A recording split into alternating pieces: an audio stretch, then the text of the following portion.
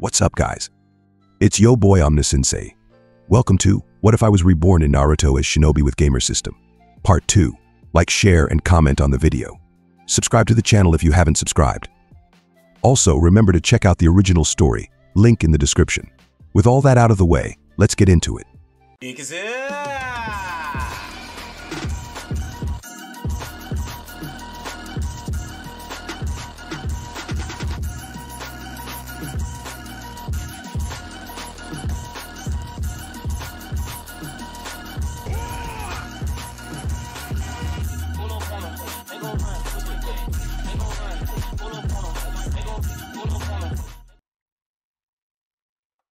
She looked him in the eye and mustered the best smile she could to thank him, only to see him looking at her blankly.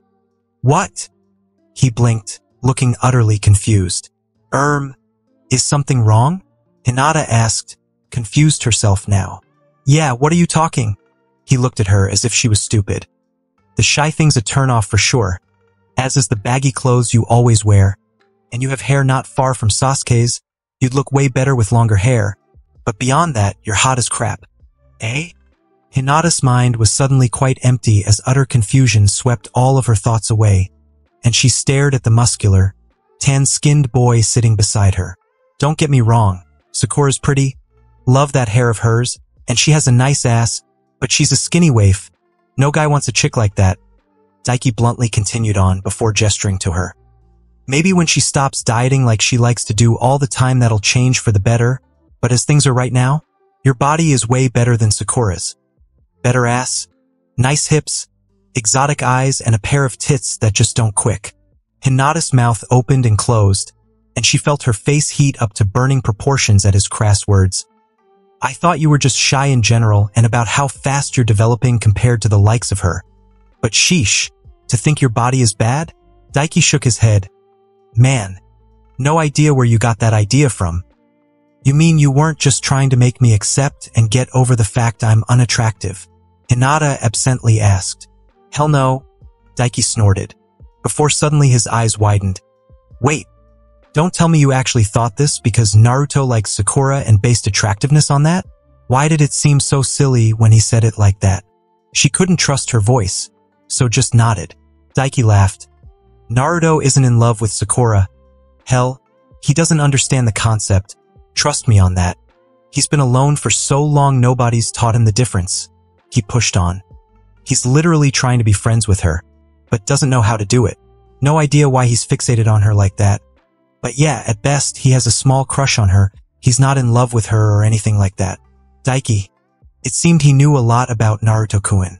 She hadn't known any of that at all, despite all the time she'd watched him.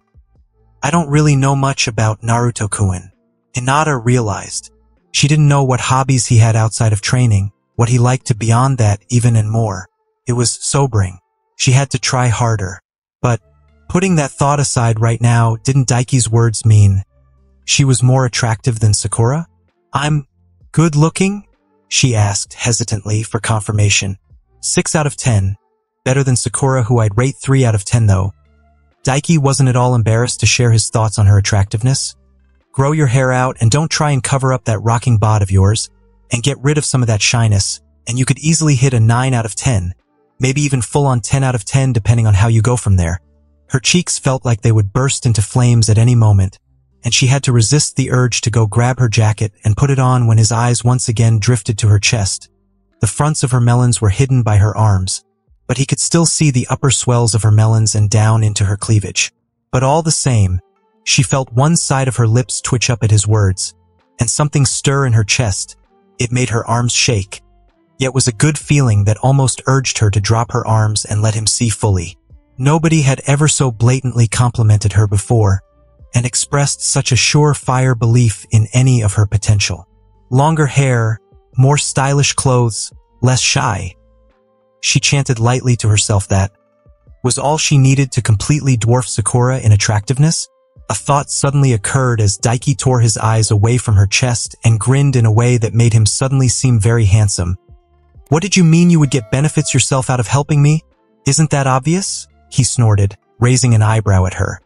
For one, I get experience fighting against the gentle fist, it's good training, and secondly, I got to ogle you at the same time. Two benefits at the same time.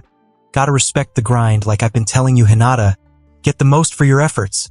Despite how absurd the situation was, Hinata couldn't help but giggle again. I see.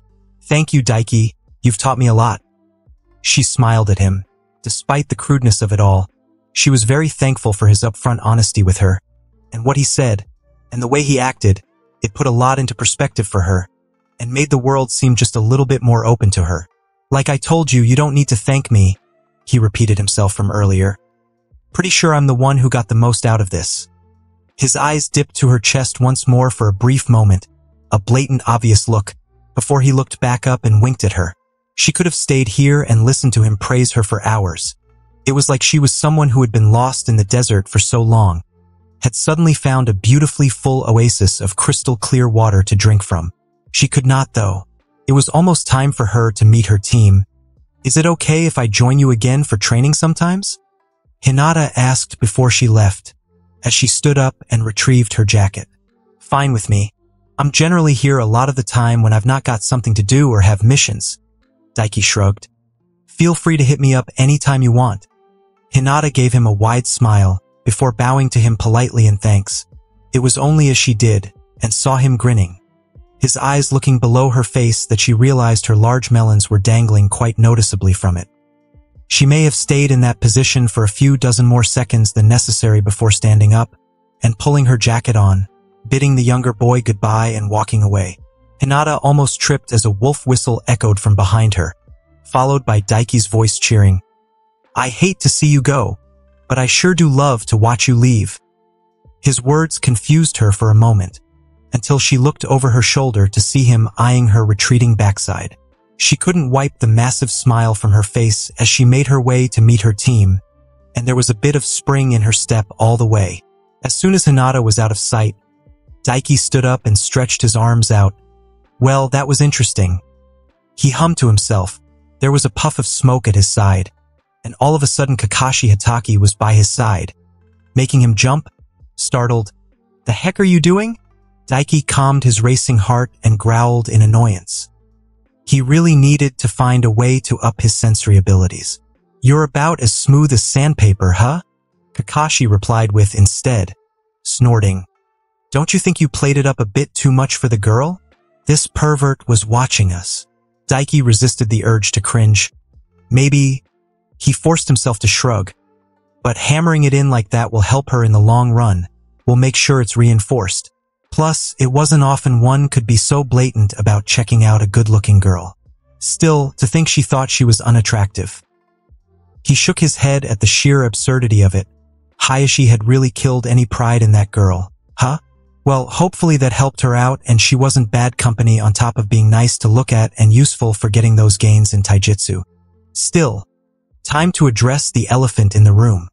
So why are you here? He asked Kakashi, confused. I've not made any more bets with Sasuke, but I won't say no to two more jutsu. Since he'd met Sasuke and gotten the fireball jutsu from him, the Uchiha had turned up to his training ground twice to spar, and he'd won both. He'd even more or less caught up to Sasuke in physical speed as well. Still, each spar was close as hell and the force palm jutsu was what kept him ahead of Sasuke. MMM. I'll think about it, Kakashi shrugged, which probably meant no, but whatever. As for why I came to speak to you and heard your adorable little flirting and confidence-boosting conversation with the cute little Hyuga heiress, my team has a mission. The Hokage asked me to let you tag along. What? Daiki asked, confused. Why? Kakashi shrugged again. Apparently you caught the Hokage's eyes, and he feels like it's a waste for you not to get a shot at the Chunin exams. The man explained boredly. This mission is a B rank in name only mind you, just a simple VIP escort mission. It will only take a day and will look good on your record. Oh, that made sense. He had stood out a little to the Hokage with his last mission and seemed to have shown a decent bit of potential with him getting the chameleon contract. He should get around to summoning soon now that he thought about it. He'd been waiting until his chakra capacity was quite a bit larger to get fully into it. He should have enough now to summon lower level chameleons without too much issue. Alright, when? He asked. We'll be meeting at the North Gates in two hours from now, Kakashi replied. Best get ready quickly. Daiki nodded in understanding. That gave him a decent while to rest and recover the chakra he'd used up this morning during training. I'll meet you guys there, then. He replied and made to leave. Before you leave, there's something I want to ask you, or at least point out. Kakashi's voice stopped him.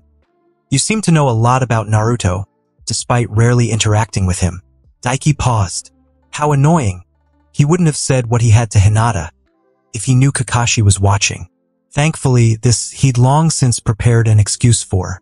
I'm not an idiot, you know, Daiki responded, looking over his shoulder and smirking at Kakashi. I'll lay it out simply for you to connect the dots. My parents were killed by the Kyuubi. Naruto was born on October 10th, the very same night. There's an absurd hatred directed at him by the older generation of this village, and to sum it up, as you've probably noticed, I'm pretty decent at Fuinjutsu. He tossed a wave over his shoulder at Kakashi, flashing his tattooed palm at the man, before continuing on. I see, Kakashi mused, nodding. There was no need for some long drawn-out excuse, keeping it vague was the best way to go about it. Hinting at knowing about Naruto's Jinchuriki status, and his dead parents were good enough reason for him to have kept an eye on Naruto and learned about him. Unlike your standard scrub genin, Daiki did not need to bother with a backpack to carry his equipment and supplies for the mission. Though maybe that wouldn't be a bad idea. He mused as he approached the north gates of the village. Not a backpack with supplies, but rather perhaps some kind of weighted back or torso weights. He could really up the grind even further with that. He put it out of mind as he reached the gate, finding Naruto, Sakura, and Sasuke already waiting. Sasuke greeted him with a nod, while Sakura waved at him. Hey Daiki, going out on a mission? The pink-haired girl asked. Yep, he nodded. With you guys actually, apparently I'm supposed to tag along. Eh? Naruto sounded off loudly. But why? We don't need your help. We're the best. Do you have to complain about everything? Sakura groaned. After the way Wave went, I'm totally fine with the extra help. Right, Sasuke-kun? She immediately looked towards the boy for his approval. Sasuke shrugged. I don't really care either way, he replied, before smirking at Daiki. Crossing his arms coolly and leaning against the gate frame. Just don't slow me down. Right back at you, Daiki snorted. The record is 3 to 0 in my favor, remember? That was a long time ago. Sasuke shrugged. It was a week ago. Daiki pointed out dryly. Semantics? The Uchiha rolled his eyes. I've grown much stronger since then, learned a new powerful jutsu and a few techniques. Things won't end the same way next time we spar. Ah, look at you cute little genin getting along like barking dogs. Kakashi's voice cut in before he could respond. It brings a tear to this old man's eye. You're late. Naruto growled at him. Kakashi ignored him and gestured to his side, where a tall, willowy man with long brown hair stood, dressed in blue, a headband depicting the symbol of the hidden waterfall village tied around his forehead. So, this is our client, he explained. His name is Shibuki. He's the leader of the waterfall village, our job is to escort him back home more or less. Don't you feel important? The man, Shibuki introduced himself, while Naruto and Sakura together griped at Kakashi for making them wait so long. From what he idly made out, they were actually supposed to meet an hour ago. Still, all that was mostly drowned out as Daiki stared at the waterfall shinobi. Don't tell me, he thought. He remembered this guy from a mini-side movie. Something told Daiki this wasn't going to be as simple a mission as Kakashi claimed it would be. Not long later, they were on the road, moving at a slow pace along the path heading out of Konoha and through the huge trees along the way. Why are we walking though? Daiki had to wonder. No, seriously, why? He could understand if Shibuki was a civilian, but he wasn't, he was a shinobi. So Shibuki.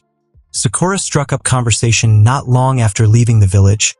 Since you're the leader of your village, doesn't that make you the Takikage? Um, Shibuki blinked. I suppose so. Wow, and you're so young.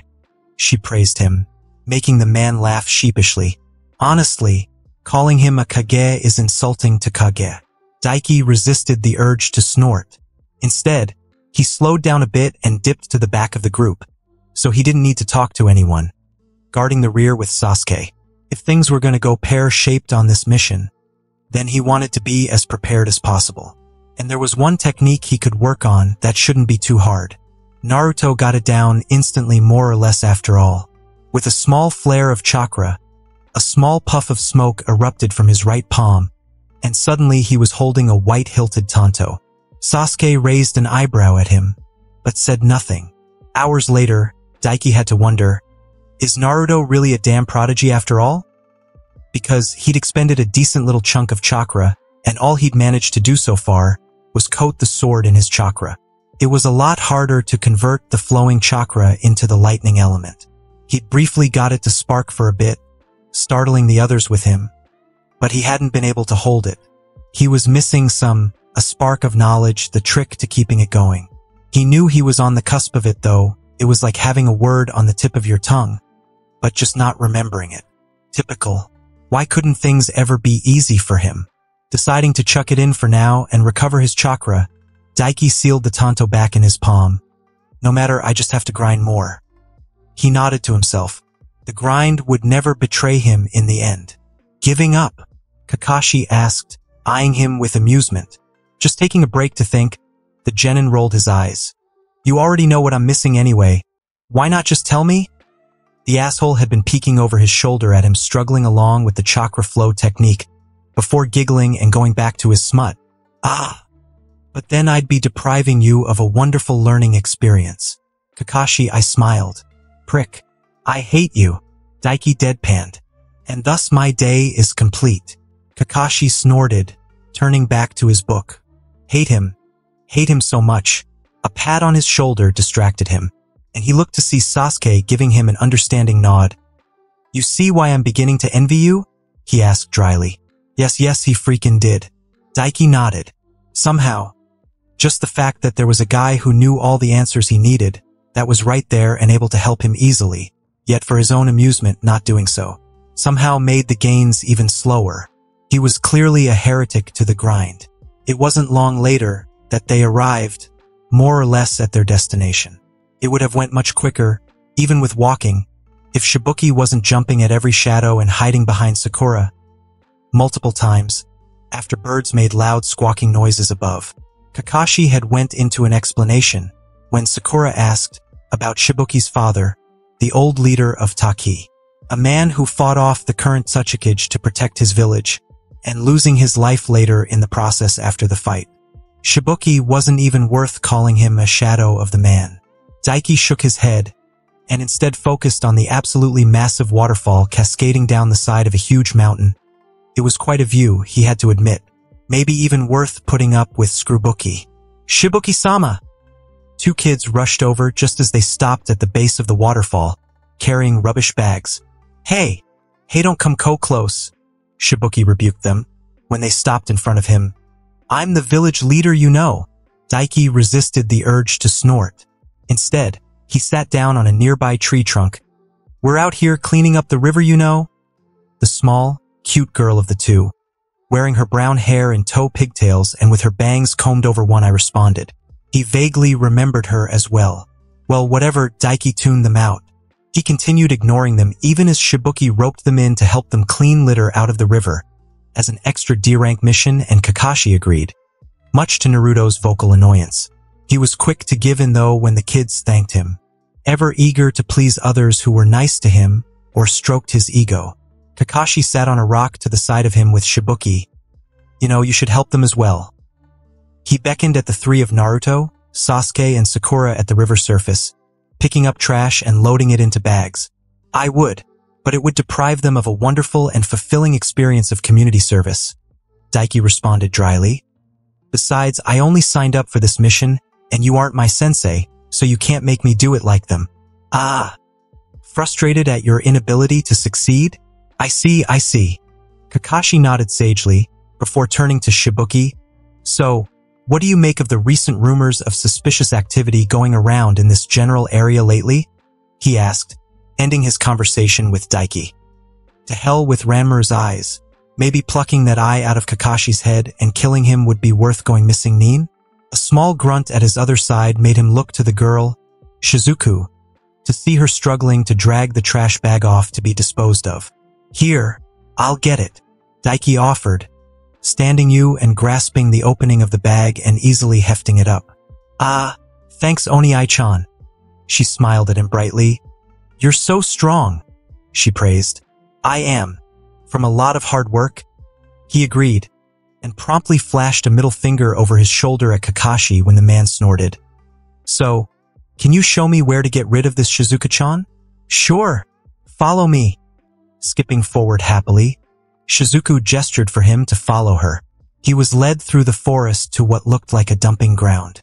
Shizuku helpfully informed him that everything pile up there was destroyed completely at the end of each month.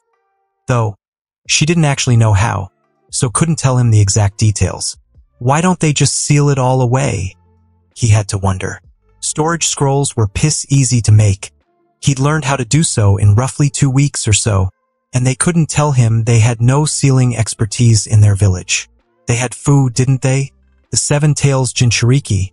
Someone in there had to have sealed the Nanabi into her. Man, if only he could examine Fu's seal. It was bound to be much weaker than the 8 trigram seal, yet at the same time much easier to learn. He put that out of mind and walked Shizuku back to the riverfront, though he was a bit surprised about a certain someone being gone. Where's Kakashi? He asked Sasuke, who was his way with a bag held over his shoulder. As Shizuku shipped back over to help the others continue cleaning up the trash in the river. Who knows? He shrugged. He got a messenger hawk, then rushed off somewhere. Told us to head back to Konoha once we're finished cleaning up this trash. Giving him a nod, Sasuke trekked down the path Daiki just came from, muttering under his breath about Kakashi all the way. Kakashi just left? Left the last Uchiha and the Kyuubi Jinchuriki alone outside another village? Bullcrap. Daiki narrowed his eyes, making his way back over to sit down on the tree stump he'd claimed. Something was clearly going on behind the scenes, clandestine and something that was to be kept off the books. Kakashi must have another mission in the area and is using us as a smokescreen. He mused. He also couldn't be sure the Hokage actually signed him off for this mission. Kakashi clearly saw how strong he was, and perhaps fibbed a bit to get Daiki to accompany him so he could work as backup for Sasuke, Naruto, and Sakura. And there was no point in even bringing up those suspicions with the Hokage either, because if the mission was as important as it was for Kakashi to ditch Naruto and Sasuke for a bit outside the village, then the Hokage would totally cover for him. Well, whatever. He just had to be ready for when whatever enemies in the area attacked. Besides, this would be another good test for how much he'd progressed. At least there was entertainment in the meantime, like Naruto annoying Shizuku by making fun of Shibuki, and her pushing him straight into a piece of dog crap. It was the little things that mattered in life. In the meantime, he ran his hands over his wrists and ankles, sealing away his weights for now. After Naruto managed to wash the clumps of dog crap from his sandals and between his toes, the blonde-haired boy collapsed on his backside. You know, I'm pretty hungry, he declared and looked over at everyone. What do you say we take a break and eat some food? Actually, I could go for Dash Daiki began, but before he could fully agree, he was cut off. If you're going to eat, you can leave, Shibuki scoffed rudely. You're pretty much done already, so we can call it here and part ways now. Daiki worked his jaw back and forth and resisted the urge to smack him one. The guy was already annoying him. Cutting him off like that was grating on top of it. Ha! Naruto growled, jumping to his feet, wet sandals making squishing noises in the grass. What a thing to say after us helping you back here. You're a real lousy jerk, Dattebayo. Daiki found himself nodding in agreement. Not that any of it really mattered, since he already knew where the entrance to the village was. Enough Naruto, we'll do just that. Sasuke cut in, giving Shibuki a terse nod, before turning on his feet and walking away. Sakura called after him and rushed over to him, making him pause. The entrance to his village must be nearby. He doesn't want us finding the entrance. But Leaf and Waterfall are allies, right? Sakura protested, so what if we know where the entrance is? Faye! Shibuki spat to the side. Maybe, for now, but can you say that you'll always be loyal to your village and never betray it? If you ever did, you'd pose a massive risk to our village. Sound logic. Daiki shrugged. An annoying-ass coward he may have been. But he was right on the money there at the very least. That's right. Sasuke agreed. Naruto growled. Now you're questioning how loyal we are. You bastard! He snarled at Shibuki. He's right, you know. Sakura, for once, was in agreement with Naruto. At least say thanks. Well, he was definitely an ungrateful prick about it. Daiki mused, hopping off the tree trunk he was sitting on and walking over to join Sasuke. Shibuki ignored him, growling right back at Naruto, before huffing and looking away. Just leave already. KH, we will.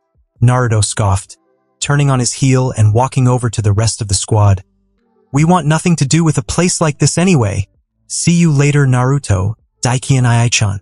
Shizuku opted to wave them goodbye instead of getting absorbed in the nonsense. Yeah.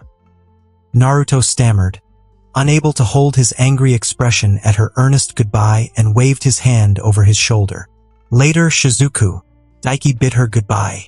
Maybe he was wrong about things going south? Like, he remembered Naruto freely using Kurama's chakra in Waterfall. He didn't learn to do that until the Chunin exams, which were two and a half months away. He was about to turn and leave with Team 7.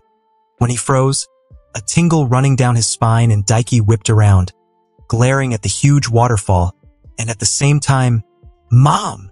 Shizuku's horrified scream an instant later made him whip around again, just in time to see a heavy-set, warm-faced woman stumbling out of the forest.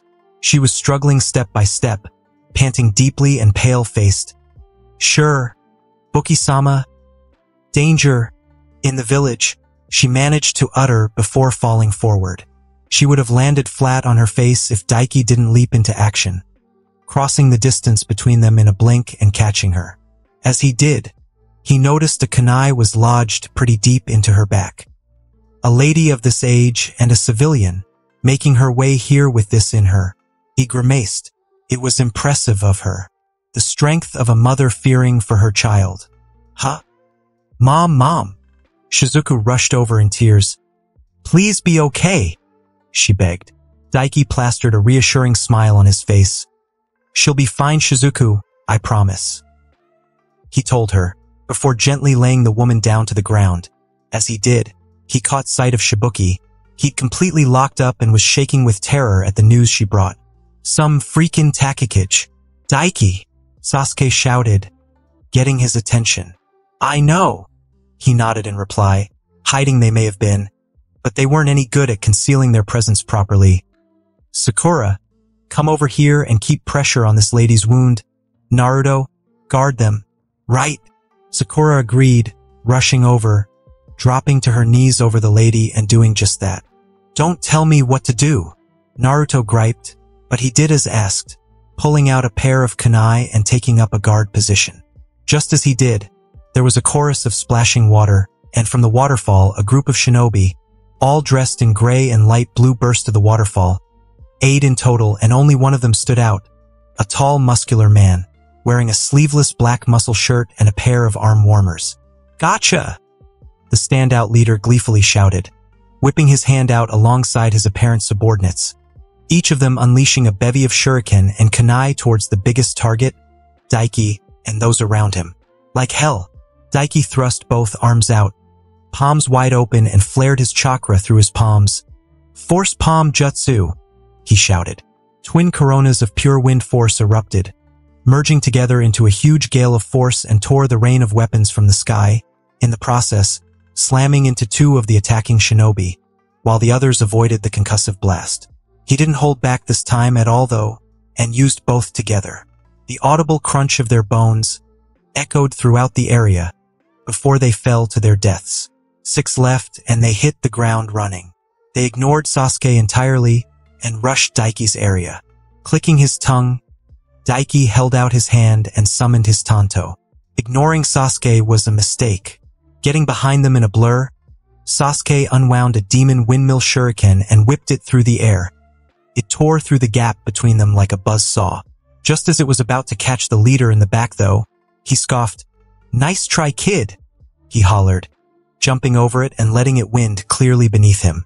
Light glinted behind the shuriken and Sasuke jerked his hand back. Ninja wire becoming visible attached to the shuriken and pulling it right back around at the leader. The leader's eyes widened noticeably, before with a growl. He ran through a few hand seals, and with a puff of smoke was replaced by a log that the huge shuriken pierced into, only for a second shuriken to seemingly materialize from the shadow of the first as it stabbed into the log and ping through the air to stab deep into the side of one of the other shinobi. Shadow Shuriken, Daiki realized. With the leader out of the way, and the subordinates now cut down to four, Daiki exploded forward in a blindingly fast Shunshin. Three juked around him. The path of a Shunshin was obvious, but his target had no chance to even attempt to dodge before Daiki's Tanto pierced his throat and ended his life. Shadow Clone Jutsu! He heard Naruto shout from behind him and the clang of metal and ripped his Tanto free from the corpse's throat and with a thought, sealed it again. Daiki grinned as he caught sight of all three being held up by clones of Naruto. The blonde had sent out multiple clones to take them on and hold them back to protect the others, and left a perfect little bit of distance for him. Rapidly, his hands came together before flashing through a sequence of hand seals. Electricity sparked around his hands as he finished and he thrust out both hands. Lightning style, electromagnetic murder, he roared, dozens of forks of lightning exploding through the air towards them held up by Naruto. And with the sheer speed of his jutsu, the three of them, alongside Naruto's clones, had no chance of dodging. They screamed in agony and their bodies completely locked up and began spasming as the lightning ran through their veins and cooked them from the inside out, the smell of sizzling flesh riding on the air. They died quickly, while Naruto's clones puffed out of existence. Holy crap Dattebayo! Naruto gaped.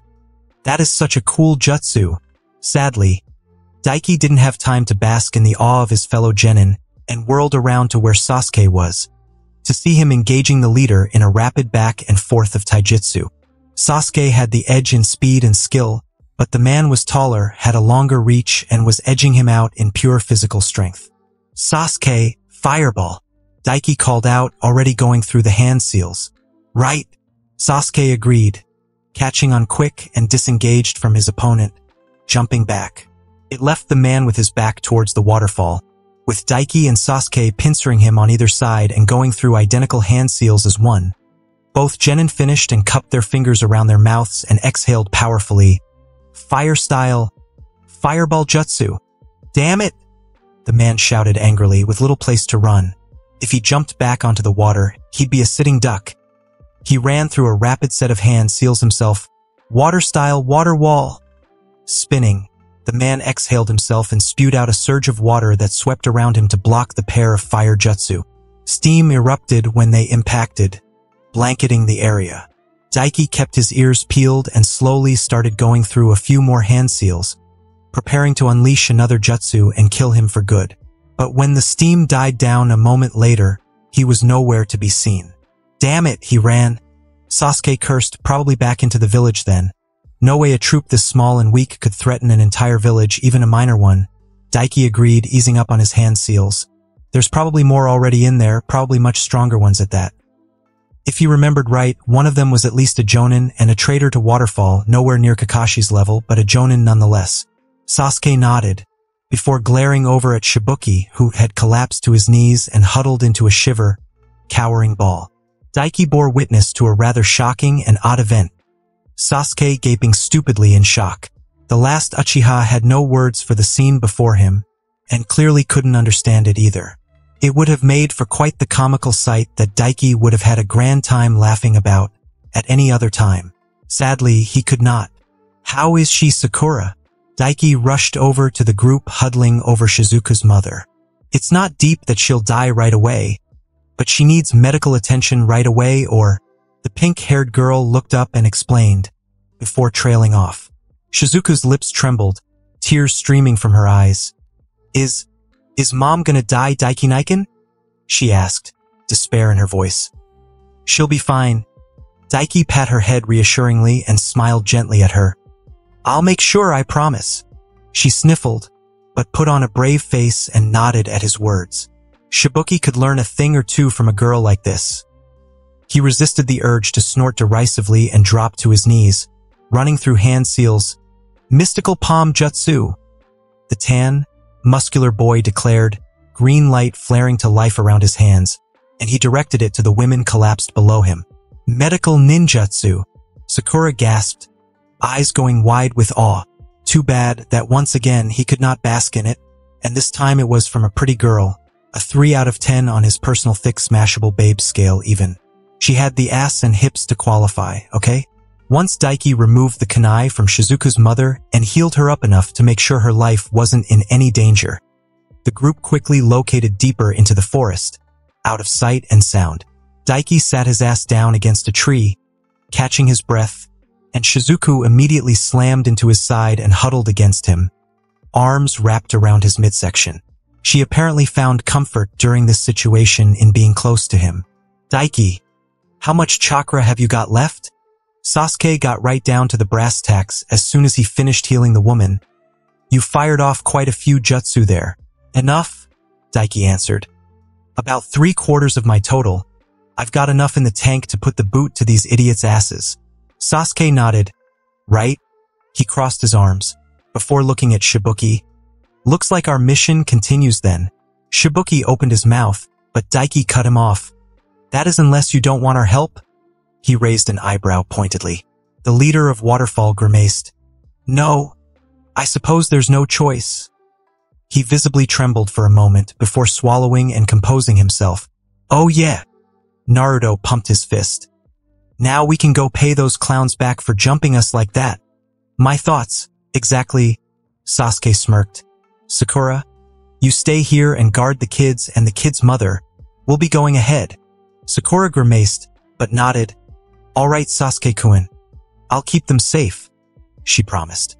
Well, even she can't mess up hiding away far away from the fight and looking over a few kids, Daiki mused before slowly standing up. I'm gonna go take care of these idiots invading your village, Kay? He pressed his hand atop Shizuku's head, gently forcing her to let go. Okay. Kick their butts in Aichan. The young girl rubbed her eyes before cheering him on. He flashed her a confident smile and a thumbs up before joining Sasuke, Naruto, and Shibuki to head out towards the waterfall village. Shibuki led them back towards the river and then towards the waterfall itself, edging around the water surface over a series of rocks that led to a round behind the huge waterfall. So your village is hidden behind a place like this, huh? Sasuke mused thoughtfully. Shibuki sighed. Let me be clear. Do not tell anyone about this entrance he ordered voice serious and level, for once. He hopped down off of the rock surface, onto a narrow pathway that was only about a foot wide. We know, we know. Naruto rolled his eyes, hopping down after him, followed by Naruto and Daiki himself. Continuing on, Shibuki led them over the path to directly behind the waterfall itself, where a large cavern system seemed to lay. But there was little to it, just a wide empty cavern, beyond the large holes filled with water. Just as I remember, Daiki nodded to himself. As one, all four of them quickly took position behind a large rock outcropping near the entrance. Daiki on the farmost left and Sasuke the farmost right, with Naruto and Shibuki in the middle. Be ready, Naruto, Sasuke ordered. That's my line. The blonde shot back, drawing a kunai and preparing. Daiki ignored them, spreading his awareness out. But he couldn't feel anyone in the cavern beyond them, and not a sound echoed beyond that of dripping water. It's fine. There's no enemies in here that I can sense. Daiki voiced. If there was an enemy in here in such close proximity that he couldn't sense, they'd have far bigger things to worry about than getting into the waterfall village anyway.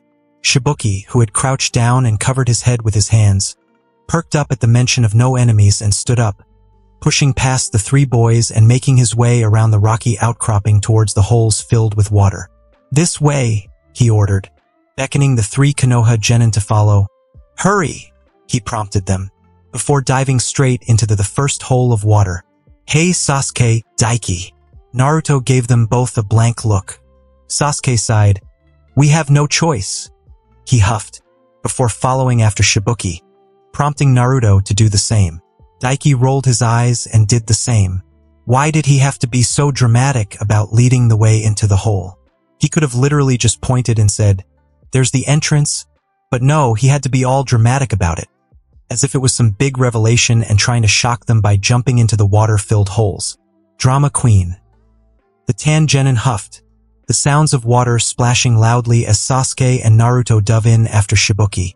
Seriously, as if it wasn't obvious that those water-filled holes were the entrances to anyone with half a brain.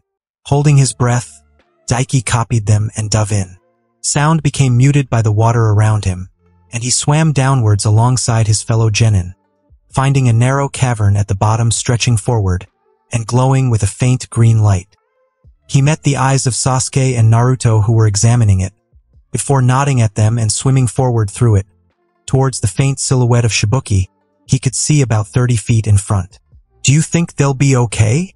Shizuku fretted as she hovered over her mother, her friend, holding her hand to help her keep calm. Sakura gave the younger girl a smile. Don't worry, Naruto.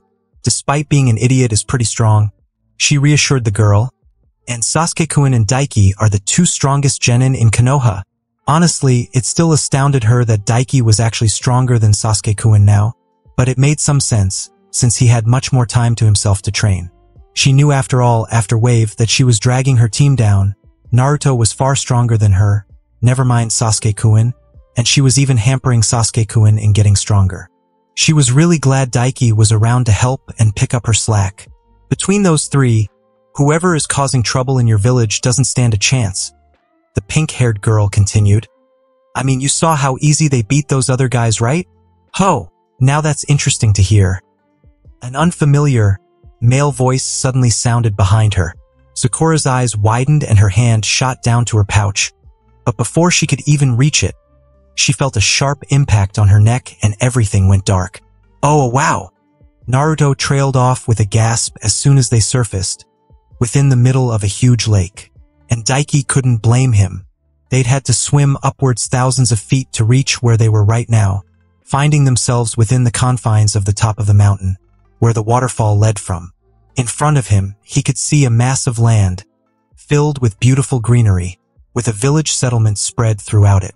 Meanwhile, behind him, there was another landmass, this time, an island right in the middle of the huge lake. The only thing atop this island, though, was a single tree, an absolutely gargantuan tree. It had to be at least 500 feet weight and stretched so far up into the sky he couldn't even measure it properly, but he could tell from the get-go it was at least as large as tall as the mountain it resided in. Huge tree branches spread out over the top, creating a massive green camouflage with the many tens of thousands, perhaps hundreds of thousands, or even millions of thick, healthy green leaves.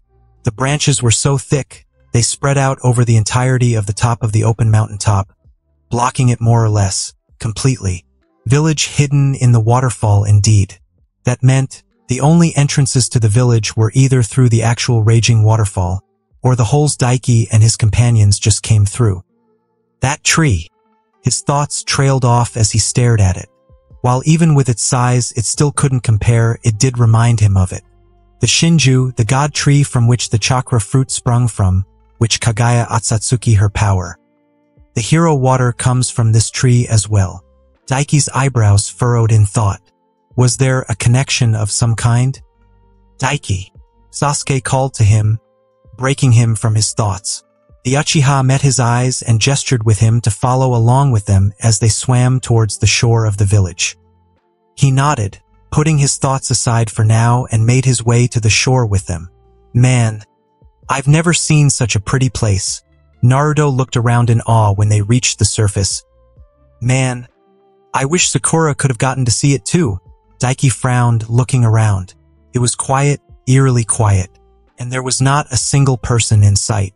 He caught the frown on Sasuke's face and knew he was thinking the same. It was only then Daiki noticed something else. Where the hell is Shibuki? He wondered. He was right behind him, so how did that coward give him the slip? Just then Daiki's senses went haywire and he jumped back, just as a series of shurikens screamed through the air towards him. Sasuke moved at the same time, pushing Naruto out of the way of a set going after him, and deflecting them with a drawn kunai. The hell was that F- Naruto growled as he landed in the water, before realizing what was going on. From behind the closest village houses, dozens of shinobi dressed the same as the ones from earlier came rushing out, blitzing towards them. Go protect Shibuki, Sasuke shouted at Naruto. The blonde growled again, but dove into the water, out of the way despite his reluctance, leaving the pair of Daiki and Sasuke to deal with their approaching enemies. Just like the ones before, Daiki noticed They all wore headbands depicting the symbol of the village hidden in the rain, each with slashes through the middle. Honestly, it was quite a lot of rain shinobi in total. This time he counted 12, which made for 20 at least. It was like they deserted Enmas. Had Nagato already taken over the rain village and killed Hanzo? That didn't matter for now, he supposed. Whipping his hand out, Daiki flared his chakra, summoning and shooting forth a series of kunai, shuriken and swords, a small wall of pointy death straight towards the approaching shinobi, before shooting forward himself. Most of them avoided easily. One did not and was riddled with the weapons, falling dead a moment later. See, that was the problem with rushing in a group. It left you little room to dodge if you were focused on by the enemy. Tora! One of them roared angrily, rage-filled eyes settling on Daiki. They were spreading out, trying to flank them from all sides and surround them. But Daiki wasn't about that crap. He made a beeline towards the one who shouted. Die! the man shouted as they approached one another. Just as they were in front of one another, though, Daiki whipped his hand out again, unleashing his force palm jutsu from his left hand and spinning. He torqued around the man's lunging stab with his kunai, aimed for the Tantine's throat, and man didn't even have time to register his make before Daiki's massively momentum-enhanced knee strike smashed into his temple and crunch went his skull. Then, not taking any time to admire his handiwork, he thrust both hands out again, unleashing the force palm jutsu a second time, jettisoning him backwards through the air like a bullet. He flipped backwards, coming down into a handstand right below another of the men and thrust up with a double mule kick right up at his chin.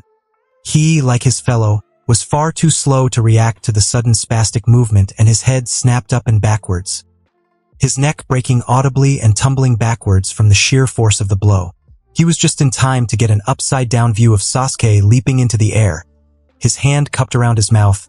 Fire style. Fireball jutsu.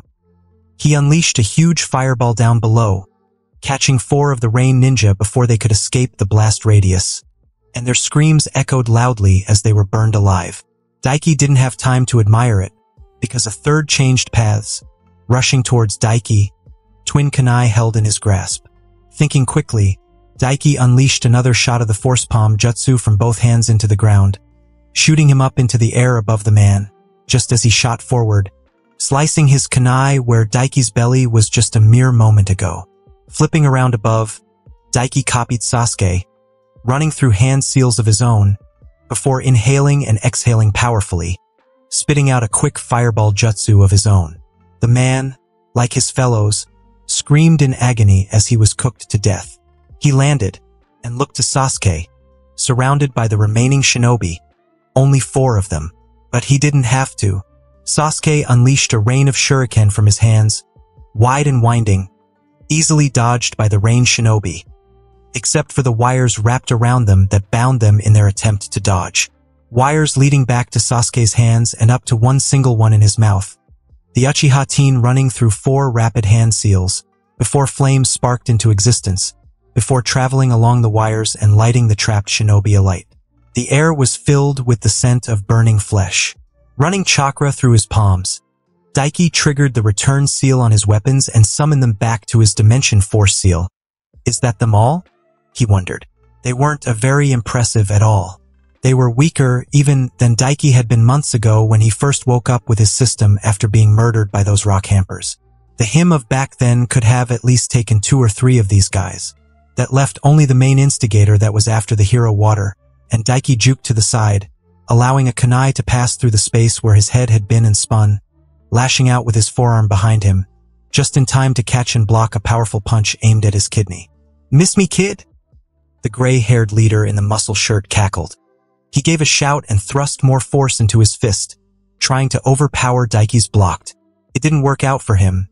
Not like it had for him earlier when he could leverage his greater strength and reach against Sasuke. Daiki was not only taller than Sasuke, but far stockier and far physically stronger as well. Locking him down, Daiki summoned his Tanto into his free hand and swung at the man's head, making him yelp and jump backwards. Man, that was close. You're a strong one, ain't ya? The man laughed before shrugging, unconcerned. Oh well, that's why you make backup plans after all. What? A tight pressure on his wrist made him look down, and his eyes widened to see a thick, watery rope wrapped around his wrist, leading straight to the gray-haired Rain ninja's hand. Water style, he growled in realization. He swung his tanto over the head to cut through it, but as he did, he felt a presence rush him from behind and quickly changed his swing, directing it into a stab directly behind him. Oh my! A purring female voice gasped slightly in surprise in his peripheral. He caught sight of a pretty, brown-haired woman dressed in a pair of tight spats and kimono top that hung open at her shoulders, baring her chest, only hidden by a tight crop top that kept her melons from being in clear view. She jumped backwards, but as she did, Daiki felt another tight pressure on his wrists, and then his arms were pulled from both sides, jerking them out and stretching him out so hard it felt like his arms were moments away from being pulled out of their sockets. Hee hee, what a big fishy we caught here. His aim? The gray-haired rain jerk cackled once more. A shame too, he has quite the robust build, does he not? The kunoichi, his aim appeared, giggled flirtatiously. Daiki, Sasuke shouted in worry and began rushing over at a blurring speed. Aha! The Kanasahai called out to him, making a single hand seal and causing electricity to spark around her hands. Get any closer and your tasty and muscular friend here is going to become a light bulb. Sasuke skidded to a stop, a snarl on his lips and his Sharingan tomoe spinning in agitation. Of course, the first good-looking chick to flirt with me would be an enemy. Daiki groused, ignoring the pain coming from his arms as best he could. Just his luck as per usual. If only that jerk Kakashi had helped him get the chakra flow technique down. He could just run pure lightning chakra through these damn water whips binding his arms and light these fools up. That left him with only one option. The fools had left his palms exposed to the air. This was gonna hurt like hell, though with his arms pulled out this wide and the force, Daiki grit his teeth and braced himself, then he channeled as much chakra into his seals as they could muster. Force palm jutsu, he roared. He wanted them to know exactly what killed them. He twisted on his feet as he unleashed it, and a pair of surprised shouts left the two ninja binding him as the pure force behind the jutsu he unleashed from his palms as he jerked his arms, bodily lifted them up and dragged them through the air like a pair of rag dolls. Agonizing pain ran down from Daiki's shoulders as his arms were dislocated, but he powered through, a savage smile spreading across his face as he completed his rotation and found the terrified face of his aim soaring towards him, while her cackling buddy sword right passed her through the air towards Sasuke. Forcing himself to ignore the pain, Daiki thrust both arms out and caught the woman right in the solar plexus. Begone thought. He spat, and once more unleashed what was rapidly becoming his signature technique. The air shook from the sheer force of the impact that roared through the woman's stomach as he unleashed the force palm jutsu at point-blank rage. She gagged, not even able to scream, a deluge of blood erupting from her throat, eyes rolling up into the back of her head, and was summarily shot flying back through the air from the way she came. Crap! Daiki roared as white-hot agony, beyond the agony he felt before, lanced down his arms. The impact reflected at him from his jutsu, had forced his arms back into their sockets, and holy freaking crap, did it freaking hurt. Ah! Daiki groaned, slumping to his knees. The sound of a body hitting the ground drew his attention, and he looked over to see Sasuke hilting his kunai in the throat of Cackle Boy before pulling it out. Daiki, you okay? Sasuke asked, rushing over to help him. Could be better, but I'll be fine. Daiki replied, though he didn't move from his kneeling position, and his arms were utterly numb beyond the pain burning throughout them. He'd be able to heal them, but it would be a pain in the ass to do it one by one, and hurt like a biatch in the process. Not to mention, he was dwindling though on chakra. He only had about a quarter left now. Right, good. You can rest for now then, Sasuke nodded. Those two seem to be the leaders, so we just need to get Naruto and Shibuki and we're done here. No, they weren't actually. The leader of this nonsense, and the strongest of them was still around, hiding somewhere, looking to get his hands on the hero water. Daiki opened his mouth to say something, find a way to tell him to keep on his guard, only for his eyes to widen in horror as a tall, burly man with a bandana over his head seemingly materialized from thin air behind Sasuke. Not quite. the man stated with a predatory grin on his face. Sasuke's eyes widened, but he didn't have time to react before the man lashed out and punched him in the side. Sasuke gagged, blood erupting from his mouth, before the force of the punch sent him flying through the air, smashing into and through one of the village houses over 50 feet away, making it collapse on him. Sasuke! Daiki shouted in worry, before a snarl of rage at what happened to his maybe semi-friend, and he lunged to his feet, forcing himself to move. The man backhanded him contemptuously before he even got halfway up, smashing him back into the dirt. His cheek flared with pain and stars erupted in his vision. He could already feel a bruise forming from the blow. Before he could even think to do anything or gain his bearings, a fist grasped him by his hair and bodily lifted him up, before his face was brought down into a knee strike. Crunch went his nose as it broke from the blow the force of it actually pushing him back up to his feet as the man let go of his hair. Yet, even then, his legs threatened to buckle beneath him. If only he could use his AR, a fist deposited itself in his chest and Daiki felt his ribs snap under the blow. And then he was soaring through the air, his vision beginning to go dark. Just before his consciousness faded away, he felt a pair of arms wrap around him and the feeling of weightlessness fade away. I've gotcha, a voice echoed in his ears. Who? Darkness claimed him. Consciousness came back to Daiki slowly, with a rousing pain that made him just want to go back to the darkness and not feel anything anymore. Every breath he took, no matter how shallow, sent sharp spikes of pain echoing through him. For a few moments, he just lay where he was, staring up at what appeared to be an oval-shaped, glowing green ceiling. Did Kakashi come save me and take care of it all or something? He wondered briefly in a daze. Surely he would have acted after seeing Sasuke take that hit he did? Ignoring the pain that made him want to curl up into a ball and forgot the world existed, Daiki grit his teeth and forced himself to sit up, and blinked. He was in a completely sealed-off, oval-shaped room, almost egg-like even. And he wasn't alone. There was a girl sitting over beside one of the walls, peering out from a small hole in it. A familiar girl, petite, with tan skin, darker than his own, athletically built and short exotic mint green hair. Her outfit consisted of a short sleeveless white midriff shirt with fishnet armor underneath, long white armlets, and fishnet shorts with a short white apron skirt over it, while a blue clothed headband was tied around the bicep of her left arm, depicting the symbol Takigakure. She turned just then and looked at him, apparently feeling some form of movement behind her and stared at him blankly, orange eyes blinking olishly before a wide grin spread across her face. Hey, you're finally awake. Fuchird. Ah, that voice. That was the one he heard before he passed out.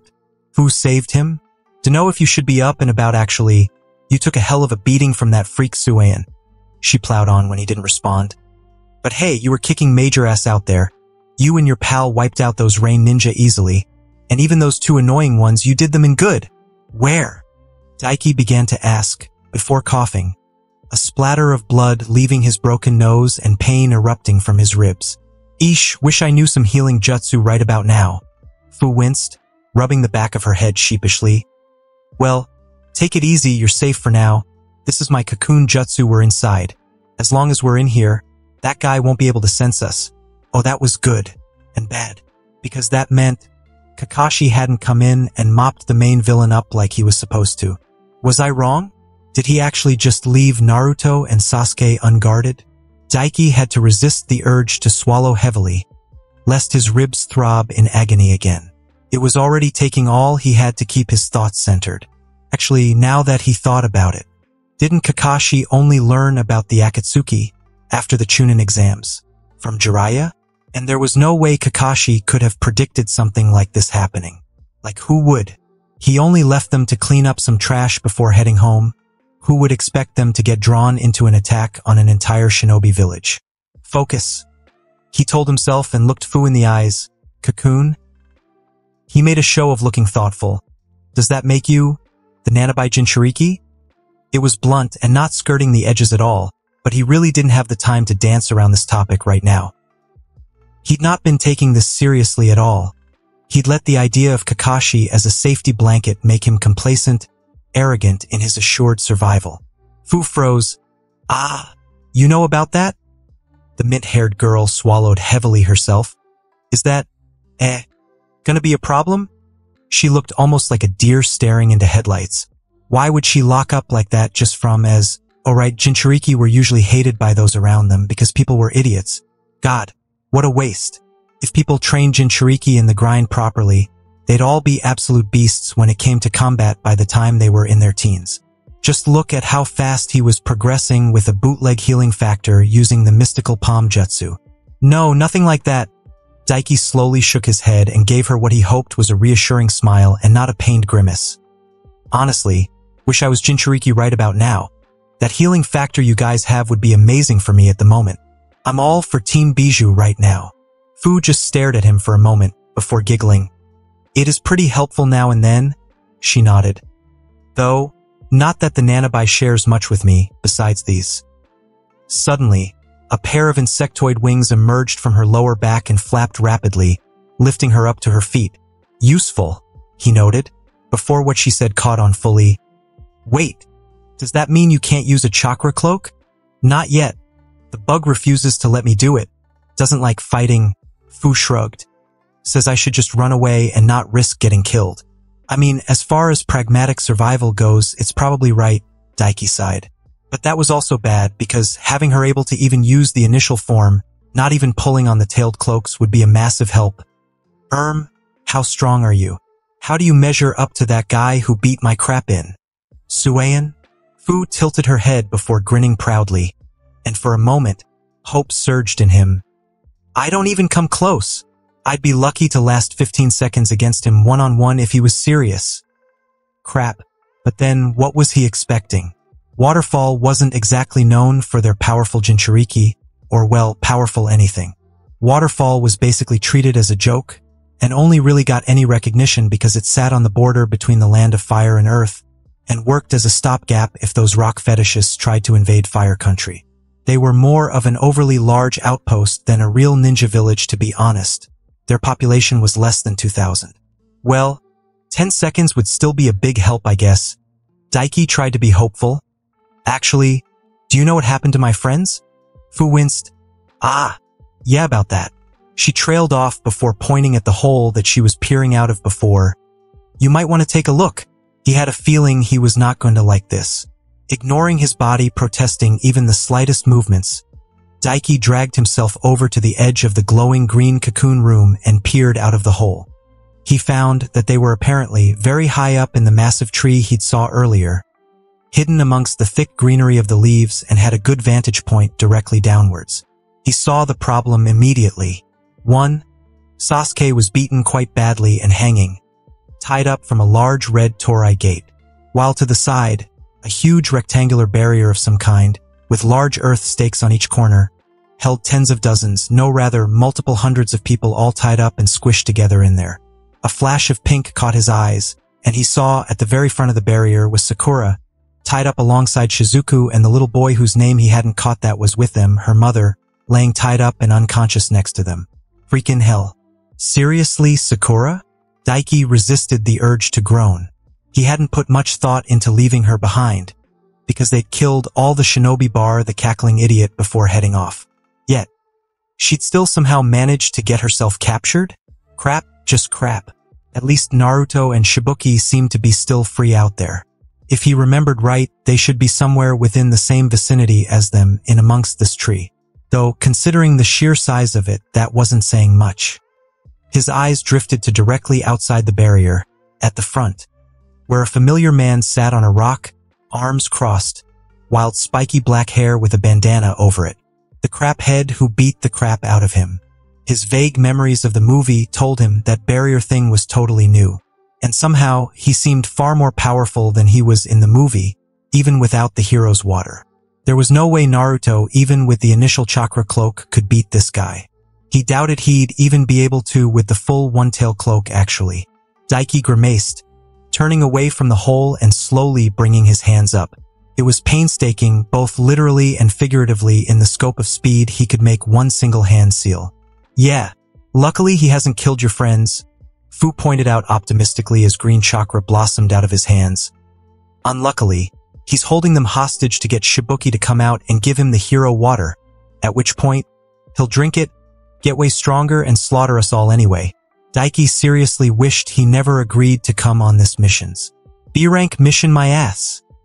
He pressed his hands to his chest and spread the healing chakra of his jutsu through into his ribs and directed the rest through his arms.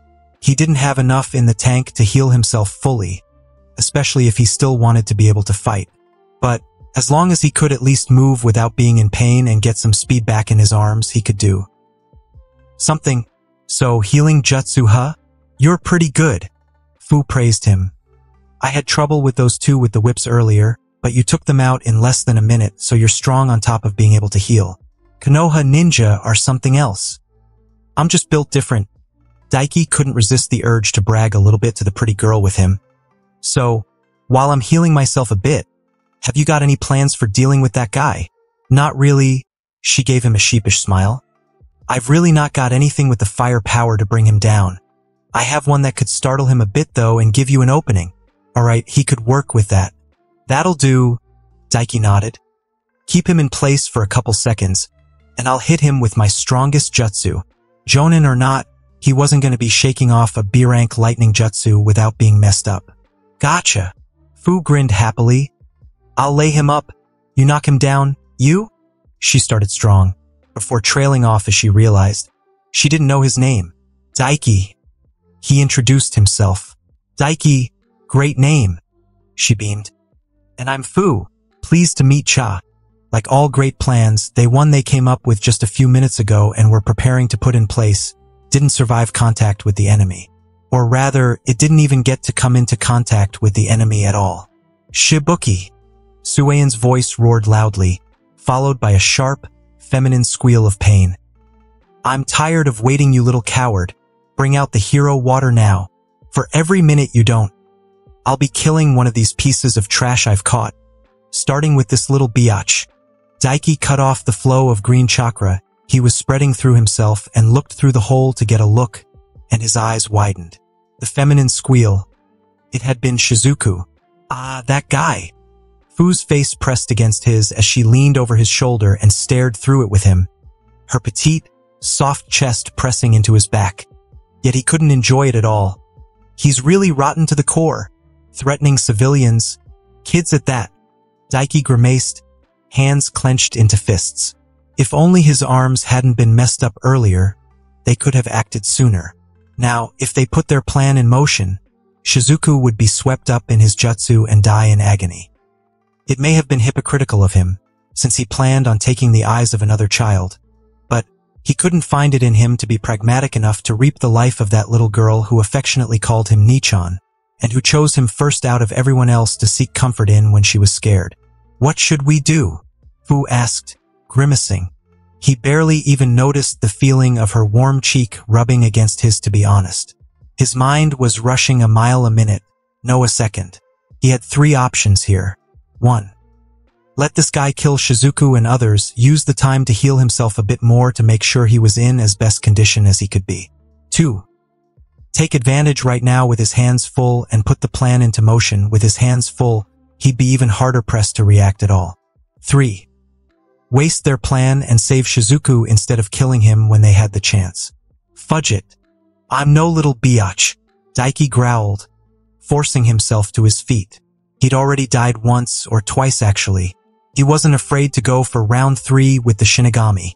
It was all or nothing. Even if he went out here and now, he was going to at least make sure he saved Shizuku and make that son of a biatch work for it. And if he was really lucky, the rage over his death would let Fu or Naruto rage mode into their chakra cloaks, and they could tear him apart. Open it up, let's do it. He ordered Fu, already beginning to focus his chakra. Fu stared at him for a moment, before standing up beside him from where she remained kneeling at the hole and smiling brightly at him. Yeah, let's do it, she agreed. She held her hand in a seal, and a split moment later, the cocoon dissolved from around them, leaving them to free fall from where it was stuck to the bottom of a huge branch. Fu whipped ahead of him with her buzzing wings, shooting down through the air and running through a series of quick hand seals then opened her mouth and spewed forth a whirlwind of glittering powder that rained down from above. A startled shout left Suien's mouth as she powder danced down over his form. Fu! He roared angrily, tightening his grip around Shizuku's neck, making her eyes widen with pain as her windpipe was crushed. Growling, Daiki kicked off of the tree and exploded downwards in the fastest shunshin he'd ever used. He summoned his tanto to his hand for accuracy, and as he came down, he aimed straight for the Jonin's skull to pierce it from above. He juked to the side and just avoided it, the sleeve on his arm ripping as his blade slashed into it and drew blood, and Daiki impacted the ground hard enough to make a crater beneath himself. The man countered instantly, his foot lashing out with a blindingly fast roundhouse. Daiki didn't even attempt to dodge, he took it straight on in the chest. He felt his ribs, only barely mended, snap under the blow once again and a roar of agony left him, but he pushed on regardless. He slapped his hand, not holding his tanto, onto the man's ankle and unleashed the force palm jutsu. His arm bones felt like they were turning to powder. A shockwave erupted and spread through his kicking leg and the man shouted in pain, Little crap! He spat, eyes closed over and summarily. Let go of Shizuku. Daiki caught her in the hand he unleashed his jutsu with, wrapping his arm around her and jumping back, while at the same time tossing his tanto towards Sasuke. The blade pierced through the rope binding him, letting the Uchiha drop to his feet below the torii gate he was dangling from before. Daiki! The Uchiha grinned at him and leapt over. As he did, he noticed Sasuke's nose was broken as well, his face covered in blood and deep bruising. A second later, Fu landed on the other side of him, opposite Sasuke. He gave them both a nod and looked down to Shizuku who was trembling in his grip. Daiki and Ayachan? she whimpered. Doing his best to ignore his painfully protesting body, Daiki gently sat her down and pat her head. You're safe now, he told her, before quickly pushing her towards the torii gate that led to inside the massive tree. Go hide in there. Quickly, this is going to get dangerous. Thankfully, she was a smart girl and did as told, quickly running inside to hide. Suien thankfully ignored her. Instead, the man, eyes bloodshot and glaring bloody daggers at them, was standing a good 50 feet away, rubbing at his ankle. You know what? I'm going to enjoy crushing your skull between my palms, you little brat. He huffed, before grinning as he set his foot back on the ground. This works out even better though, right, Shibuki?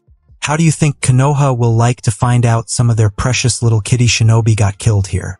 Or how about I snap the snack of this little failed weapon? You better be quick, boy. If you don't, I why? Will you shut the hell up already? Daiki snarled. Nobody cares about your grandstanding, you washed up old piece of crap. Yeah, what he said. Fu flashed the Jonin the middle finger with. Sasuke merely smirked, crossing his arms and nodding in agreement. Suien snarled, Uppity little brats, he spat. He twisted his foot behind him and was about to rush them when a hail of kunai and shuriken fell through the air above him, aiming for his head. Titch, the man clicked his tongue, jumping back to avoid them, and all eyes were drawn up to the trees, where a familiar orange-clad blonde stood a hundred feet above on a branch, arms crossed and a smirk on his face. Heh! Looks to me dash the blonde began, hopping off the branch and shooting down towards him, his hands flashing into a cross-shaped hand seal. That you're outnumbered old man. There was a series of puffs of smoke around Naruto, and suddenly, where there was one blonde shooting down through the air, now where was over 30. Annoyances every dash Suien tried to complain, but Daiki took advantage of the distraction. Arms shooting up, he unleashed every single weapon he had in his Dimension Force seal, multiple dozens of kunai, shuriken and swords blitzing through the air towards the Jonin faster than bullets. At his side, both Sasuke and Fu ran through hand seals. Fire style, Dragon Fire Jutsu, Wind style, Great Breakthrough, Sasuke spat out a massive roaring dragon of flames, while Fu unleashed a powerful gale force wind that could uproot trees from her hands. Eh? The mint-haired girl made a sound of shock as her wind slammed into Sasuke's attack, and the roaring dragon of flame utterly ballooned in size to dwarfing proportions, with Naruto coming from above and all around. His series of weapons and Sasuke and Fu's unintentional combo jutsu, they really do go all out.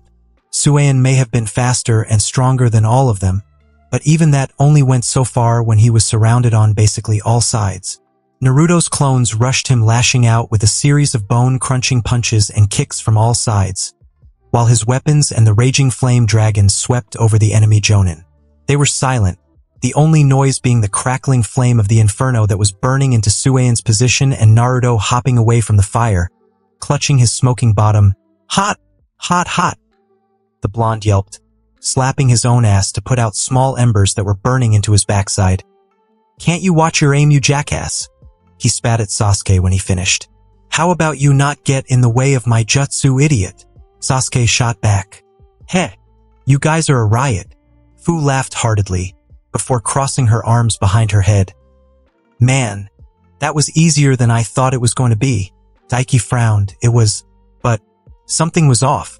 He didn't sense the guy escaping the attack at all. Actually, in the end, he didn't even try from the brief glimpse he got before the attack slammed into his position.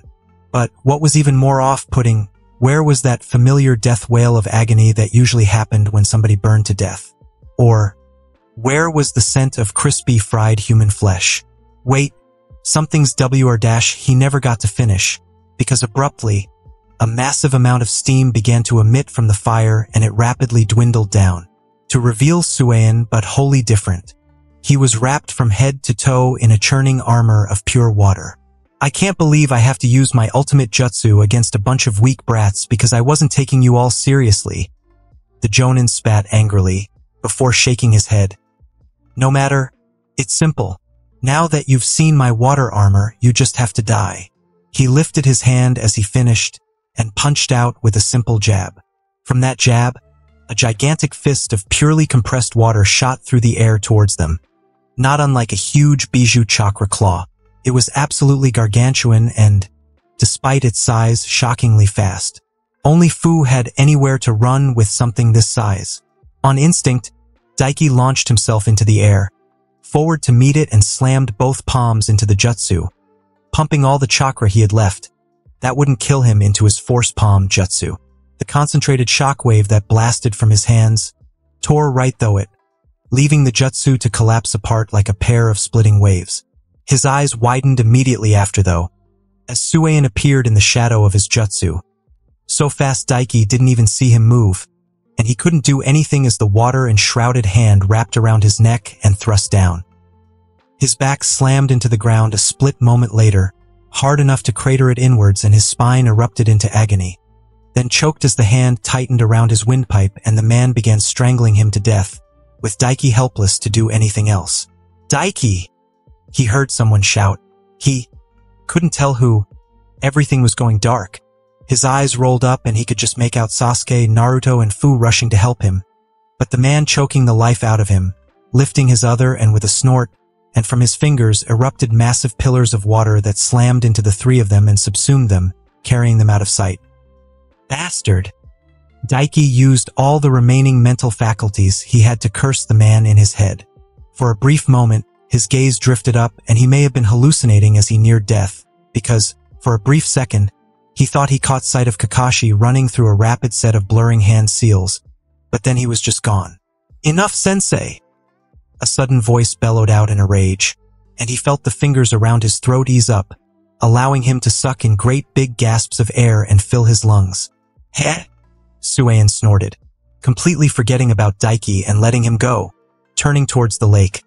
So you finally crawled out of your hiding spot, you little spineless coward? He spat. Coughing and hacking, Daiki feebly turned on his side and looked to the lake, and there, it was Shibuki, but completely different from before. He held an oddly shaped glass bottle in one hand, filled with a mysterious-looking liquid. It was like water, but silvery instead of clear, and there was a massive raging aura of chakra blazing around Shibuki's body. So powerful and tangible the very air seemed to roil and twist. A powerful seething aura of chakra that reminded Daiki of a bijou chakra cloak almost. And his eyes so different from the shaky, cowardly things from earlier. A blazing rage stood out in them now as he glared bloody murder at Suien. You, you're right of course, but I can't stand aside anymore. I wonder, is this how my father felt back then? I finally understand.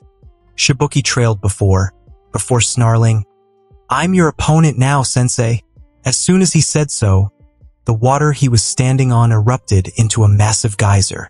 It wasn't a jutsu, but from the sheer speed and force Shibuki erupted forward, closing the distance between him and his former sensei in the blink of an eye.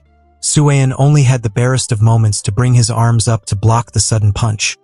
Yet, even with his armor, the sheer force behind it lifted him up and sent him flying back like a missile. Yet, even as he flew back so fast Daiki could barely see him, a massive of water tentacles erupted from his water-clad body, each compressing into spiked ends and lashing down at Shibuki. Daiki's eyes widened when he noticed one coming right for him as well. He couldn't move. He feebly pushed himself up before collapsing again. Shibuki clicked his tongue.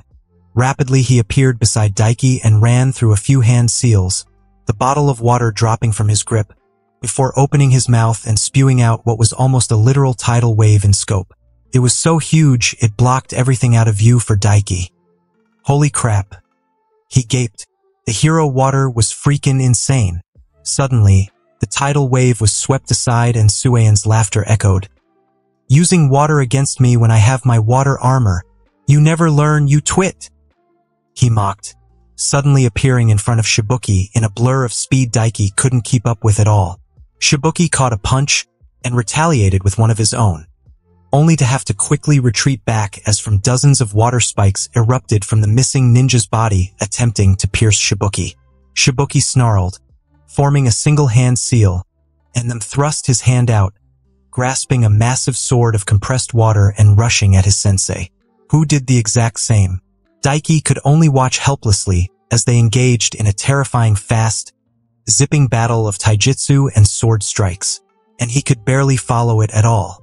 But as it continued on, he noticed the roaring chakra shroud around Shibuki was getting smaller and smaller, and bit by bit, Shibuki became slower and weaker, his sensei beginning to overpower him as the difference in their base's abilities became utterly apparent. Crap! Crap! Daiki looked behind him to his companions, only to find all three of them laid out in a trio of craters, unconscious. They hadn't just been crushed and subsumed by his earlier attack, they'd been drowned into unconscious while at it. Probably once they were slammed back into the ground and forced to breath because of the stun that came from the impact. He can't last much longer, Daiki realized. And once Shibuki fell, it was all over, that guy would kill them all and get the hero water as he wanted. Daiki didn't even know why the freaking idiot wanted it. He should know using it would take a chunk of his life force. Even a sip from it, while it would Daiki's power massively, it would only last a minute or two at most, and it would take a good 10 years off of his lifespan. Though 10 years instead of his life would be a good trade-off at this point. His eyes drifted to the bottle of hero water laying innocent beside him and temptation flared. Fudge it, he would die anyway at this rate. And big deal, he'd die at like a hundred instead of a hundred and ten or something, if somebody didn't murder his ass first anyway. Reaching out with a shaky arm, Daiki grabbed the bottle. He was so weak, though, that he had to struggle to just pop the cork off of it and open it. To the grind. He snorted to himself before holding it up to his lips and taking a sip. He swallowed, and then everything went still. The haze of darkness around his vision cleared up. His senses spread out massively. His eyesight sharpened, the pain that had been plaguing him faded away, and Daiki stood once more. A rushing sensation ran through his veins, and he felt his chakra click, and like a flame fed barrels and barrels of oil.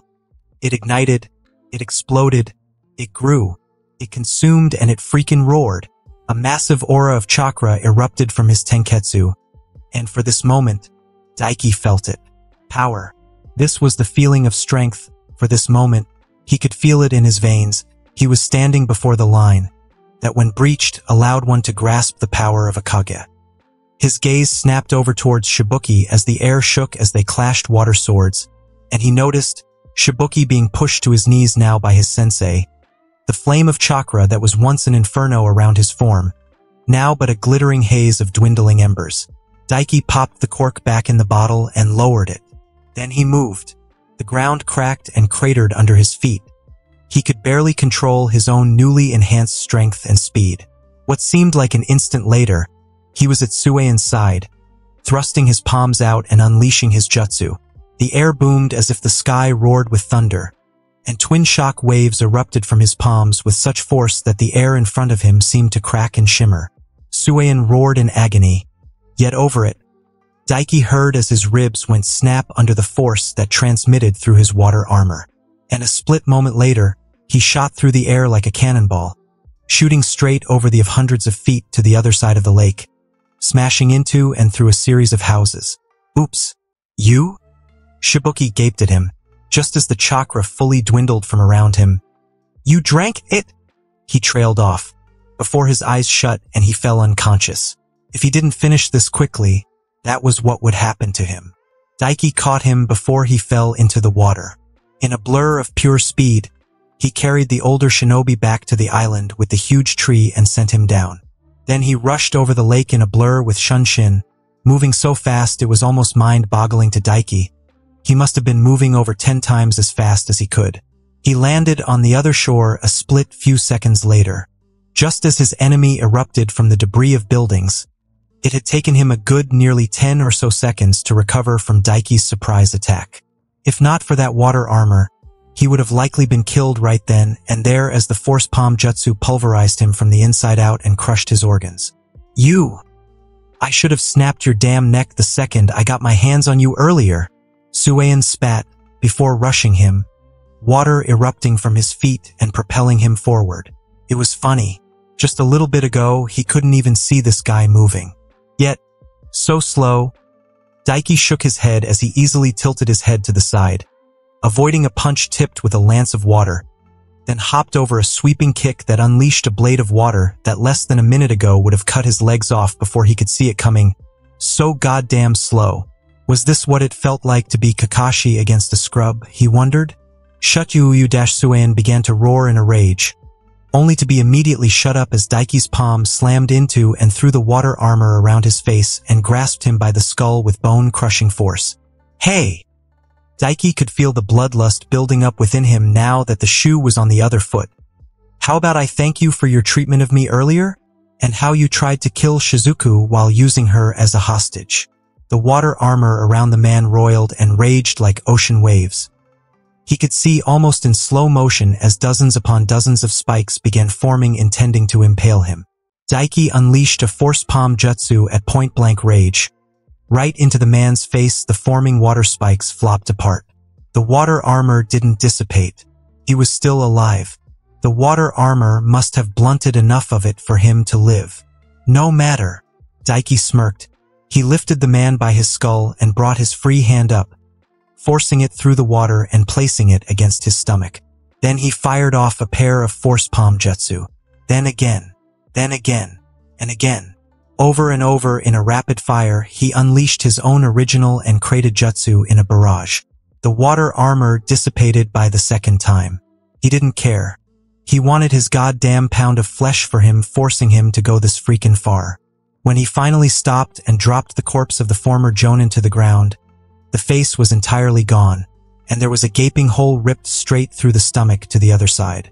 In the end, the man had become nothing more than a bloody pulped piece of meat. Faye! Daiki spat on the corpse. He would have loved to beat the man around a little more, take out his frustration and rage on him. But he wasn't consumed by the desire enough to not notice the way his strength and chakra, despite peaking so massively, begun to rapidly dwindle as the seconds went by.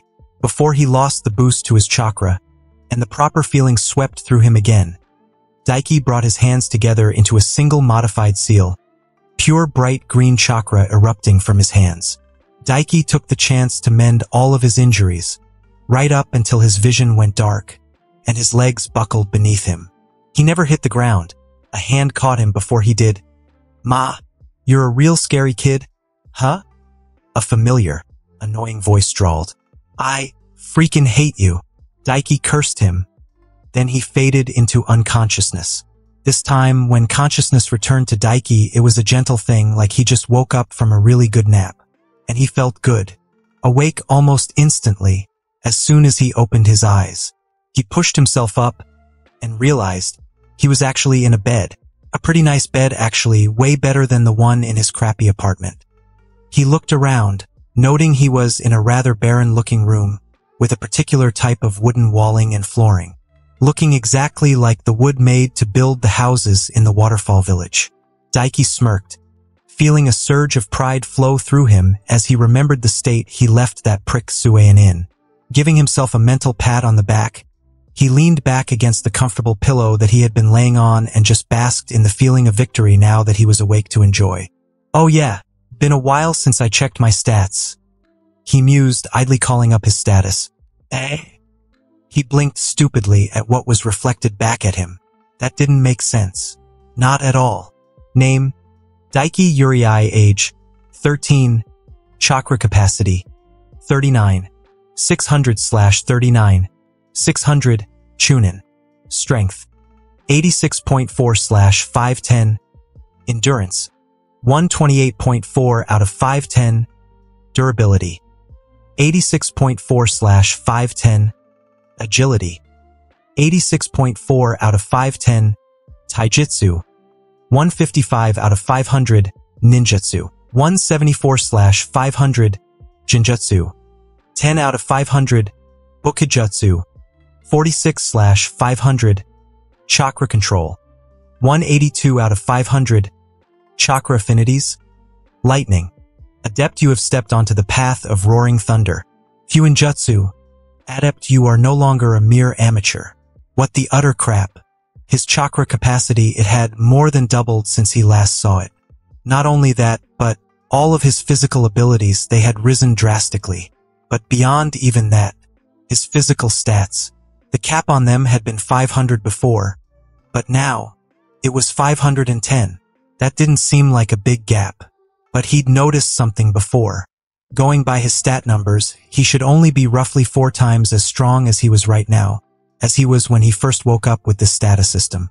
But that was wrong. By his estimates, he was actually double that amount stronger and definitely that amount faster. The higher his stats rose, the harder it became to make them rise. Yet at the same time, each single stat pot seemed to bit by bit become worth more than the one before it. 30 wasn't half as strong as 60 in these numbers. Not even close. He actually couldn't tell how big the gaps were. It was really hard to measure. The difference between 500 and 510 was probably quite massive when applying that logic. Is it because of the hero water? He wondered, dismissing the status screen and thinking. Thinking on it, this, this was probably a good thing. Considering the amount of time he'd need to make these kinds of gains, weeks, more even, for a paltry 10 years off of his life? Yes, Daiki decided this well worth it. After all, making up for 10 years of life force? That would be easy. After all, he was planning on becoming a Jinchuriki. And beyond that, there was a certain little ferret with a certain little traveling clan from another continent, roaming the elemental nations. And in that ferret, there was a certain stone that he could easily get his hands on. He only needed a fragment of it even and could give the rest back to the ferret, and not only would it boost all of his abilities and chakra, it would also massively increase his lifespan. Guess I gotta look into finding the Stone of Gelel. He mused, he should probably start with the Land of Rivers. Everything freaking else was there after all. Shifting the covers laying neatly across his body off, Daiki sat up fully and pushed himself up out of the bed. Honestly, he was feeling pretty damn energized right now. He was almost itching to burn off energy now that he'd sorted his thoughts out. He was eager to get back to the grind. And something else now plagued him as he remembered back to that fight. He was more or less a gnat compared to Suien, as expected of a rookie genin fighting a jonin. Yet, with just a sip of the hero's water, he'd absolutely crushed the man easily, even with such an astounding technique as that water armor of his.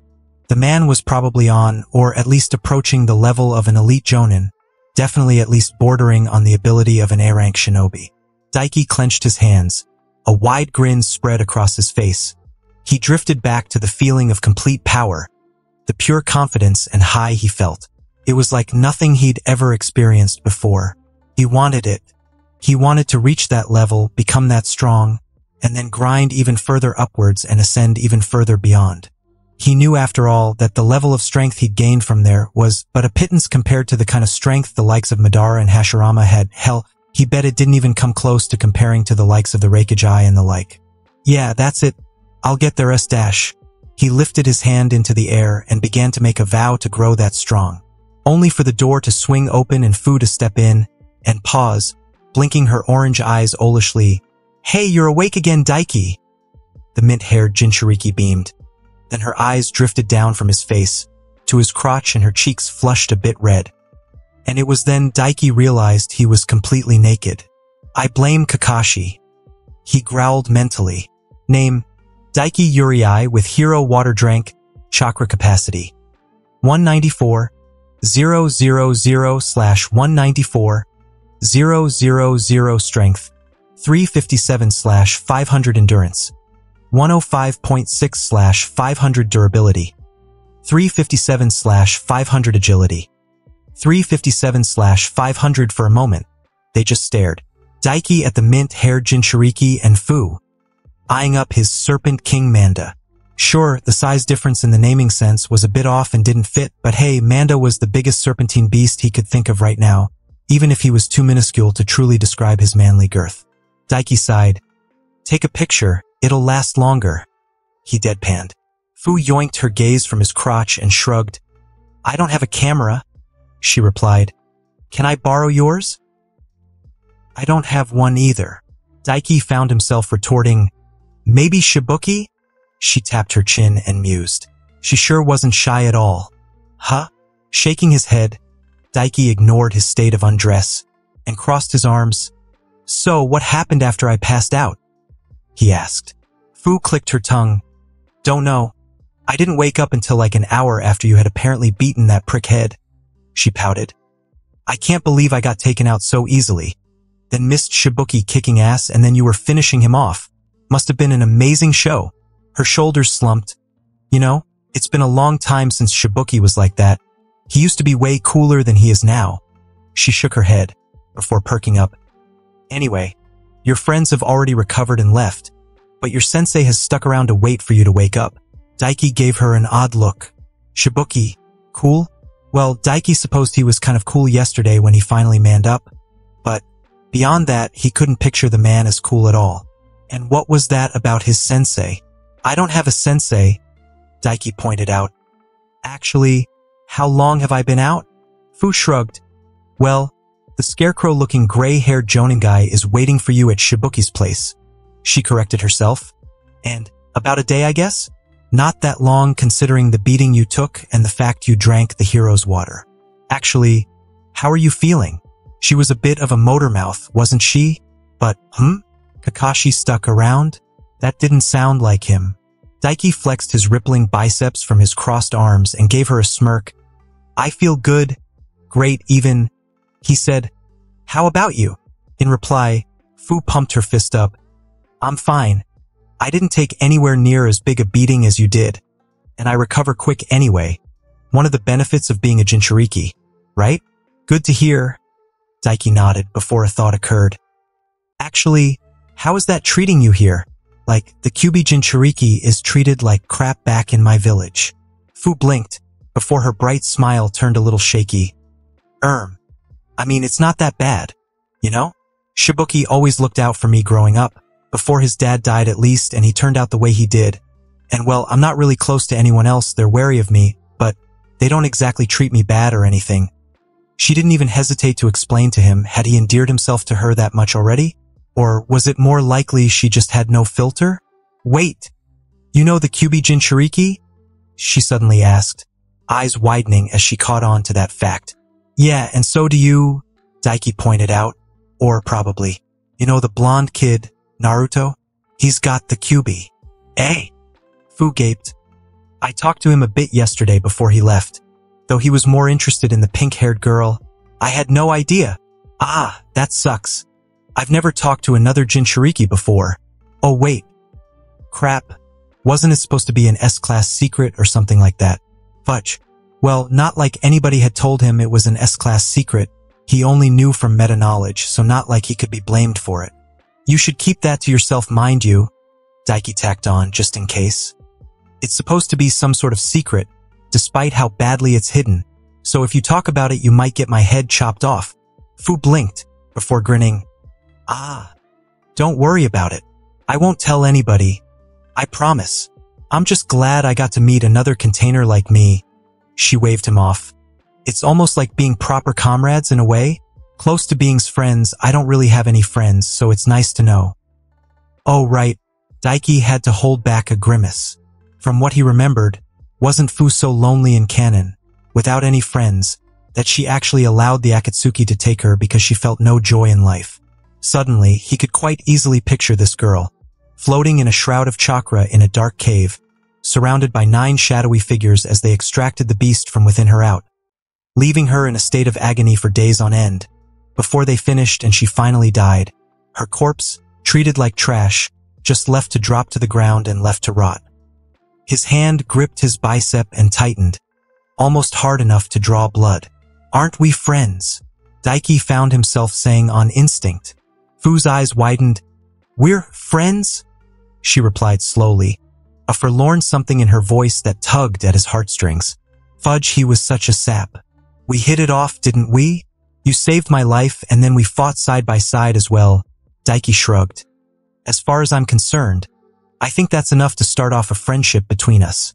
A second later, he had his arms full of a petite, toned Kunoichi as she slammed into him, arms wrapping around him, and he heard a brief sniffle before it was drowned out by her voice in his ear.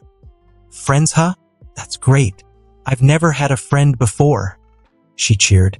Yes, though he should probably point out, friends didn't quite hug each other while one was completely nude, especially not when one was an exotically cute girl. Not unless they were friends with benefits or the friends beyond friends, the relationship kind. But Fu wouldn't exactly understand that type of things right now, he didn't think.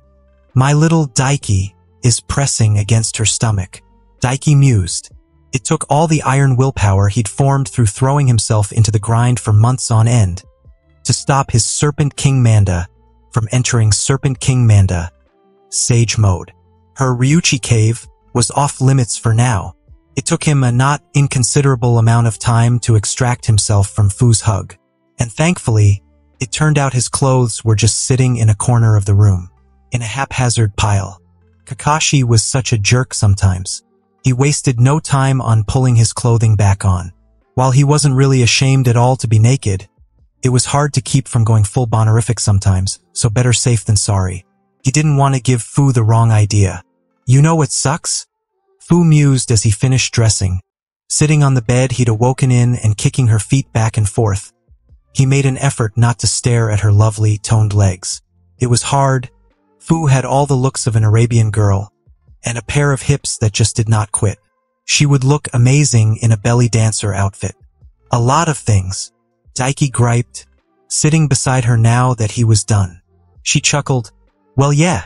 She nodded. But, hear me out here. You're my first friend, and I won't be able to see you much, especially since you need to leave soon cause you're on a mission. It's not like we can't visit each other, he pointed out in return.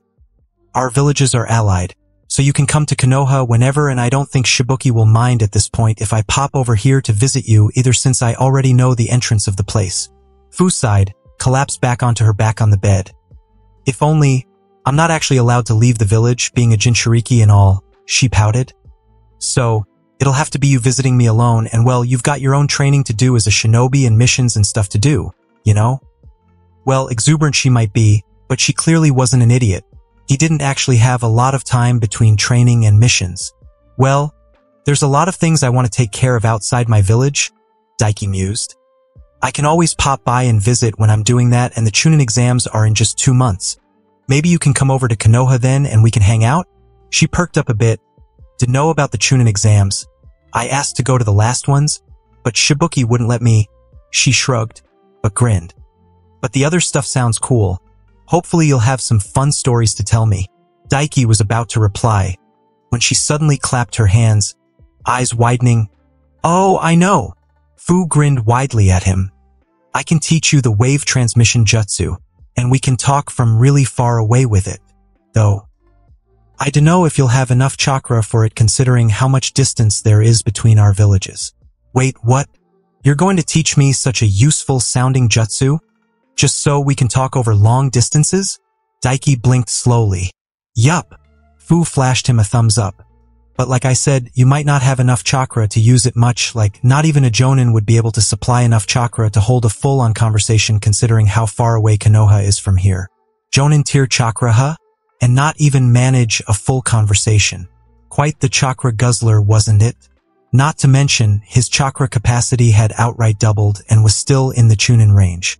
If there was an elite Chunin tier like there was for Genin, then he was a ways off from reaching Jonin tier. Let me worry about that, Daiki waved off her worries. He had options after all, then paused as he remembered something. Actually, there's a way you can help me out on that front. Hmm. Fu tilted her head. Sure, whatever you need. She agreed instantly. He should probably caution her after this, though, to make sure she doesn't just give a random stranger whatever they want from her just because they said they'd be her friend. Can you show me your seal? He asked, getting straight to the point. Fu's exotic orange eyes looked at him strangely before she shrugged. Sure, I don't mind, she replied, before promptly turning around so her back was facing him, and pulling her short crop top and mesh up at the front, making it right up and expose her slender back to him, before he could get stuck ogling the suddenly half-naked older girl. Her back shimmered for a moment, chakra palpably running over her skin, and huge black blocks of ink faded into existence. Each one was at a corner of her back, and all four of them perfectly lined up perpendicularly leading to the middle of her back. Banishing any of the horny within himself, Daiki focused only on the grind and raised his hand, placing his palm in the middle of the seal and running his chakra through it. As he did, chains of sealing characters spread out from the four ink blocks, forming into a spiderweb-like pattern. A for symbol seal, huh? Daiki mused, this was far higher quality than he thought it was going to be. But he could tell at just a glance this was no master's work, so it probably didn't measure up to the four-symbol seal Kushina had, and definitely not the eight-symbol seal made by overlaying two four-symbol seals over each other that Naruto had, even if he hadn't had the chance to examine them. He could tell that right off the bat because even as low-tier a seal user as he was, he could actually understand quite a bit of this seal matrix. Right? Gimme a minute, Daiki said, and held his hand out, summoning a blank scroll and some ink from his Dimension Force seal, which felt particularly empty right now. My weapons got destroyed by Sasuke and Fu's jutsu. He remembered with annoyance, before dismissing the thought and focusing on copying down the seal on Fu's back. After he copied down the seal and sealed the copy in his Dimension Force seal, Fu was eager to teach him her jutsu. It was a jutsu that spread out a wave of chakra, almost like sonar waves, on a specific frequency decided on by the users and carried the inner thoughts of the user to their target. All in all, it was basically a jutsu used for talking within your head with another. A very useful tool for a ninja really, when it came to not making any sounds and not letting others overhear your plans. And, from the looks of it, it actually wasn't all that complicated. And according to Fu, he should be able to get it down within a few days of training. When he was done and knew what he had to do to finish learning the technique though, Daiki felt guilty. She gave him a really useful jutsu just to talk with him, and didn't mind at all when it came to showing her seal to him. She didn't know just how much her doing so contributed to his overall goals either. She had sped up his plans immensely. He couldn't leave her without giving her something in return. So he taught her a jutsu of his own in return. Oh wow, the second Fu that had been summoned through a puff of smoke, a half an hour later grinned, both her and the original eagerly looking each other over. This jutsu is so cool, the twin girls exclaimed, turning to grin at him. Best idea ever. Daiki decided then as he bore witness to his spontaneous decision, especially since both Fus quickly latched onto his sides and hugged him tightly. They were very touchy-feely and didn't mind at all hugging him.